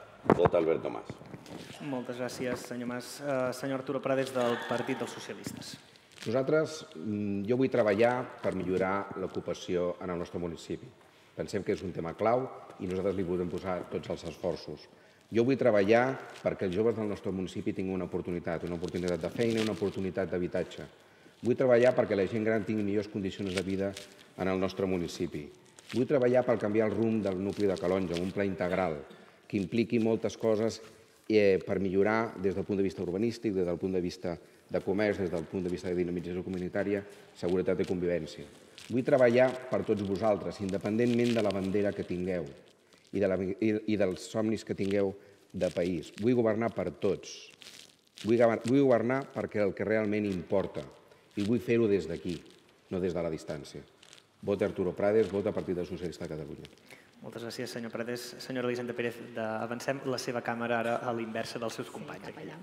Bé, jo començo eh, reivindicant el fet de que aquest punt de, de, que toca és, si jo fos alcalde, jo vull ser alcaldessa, eh, crec que tenim un problema amb, amb, el, amb, aquest, amb, amb aquests temes, no? ja ho he dit diverses vegades, no, no és un tema de sensibilitat, és un tema, és un tema de, de coherència, és un tema de que som el 50% de la població i que, per tant, doncs, també mereixem tenir aquesta, aquesta bueno, tal com ha dit el company de la CUP, doncs, doncs tenir aquest protagonisme. No? Jo, si fos alcaldessa, doncs voldria eh, seguir treballant eh, per tu. Nosaltres tenim un lema que és que la prioritat ets tu. Nosaltres tenim un programa que no va de grans inversions estratosfèriques, de grans coses enmig de, dels pobles, de grans plaquetes d'inauguració. Nosaltres el que volem és que el dia a dia dels veïns i veïnes de i Sant Antoni sigui més fàcil, sigui amb unes escoles doncs, més dignes, sigui amb una gent gran doncs, cuidada, sigui que amb uns pagesos i amb unes pageses doncs, que els puguem seguir fomentant i seguir creixent, amb una joventut, amb una cultura, i per tant, com que la prioritat ets tu, volem que ens donguis confiança aquest proper 26 de maig per poder seguir treballant per tu. Moltes gràcies. Eh, Té la paraula el senyor Miquel Belloc, d'Esquerra Republicana. Tornarem a fer poble, eh, l'eslògan que portem. Nosaltres eh, us podem prometre eh, escoltar la gent, us podem prometre parlar amb la gent, us podem prometre tornar a tenir aquest sentiment de poble que hem perdut ara actualment. O sigui, necessitem que tornem a ser un poble, que tornem a sentir-nos a les nostres festes, les nostres festes majors i la nostra gent. Per tant, l'única cosa que us, que us prometo és escoltar, escoltar i escoltar i tirar endavant les actuacions que calguin perquè l'educació passi a ser una prioritat principal en aquest municipi, igual com serà la cultura. Moltes gràcies. Senyor Jordi Soler, de Junts per Catalunya. Sí, eh, gràcies. Bé, ja sabeu qui som. sabeu com treballem, eh, tenim 16 anys d'experiència de, i durant aquests 16 anys hem transformat el que era Calonja i Sant Antoni. Això salta, salta a la vista i és, i és evident.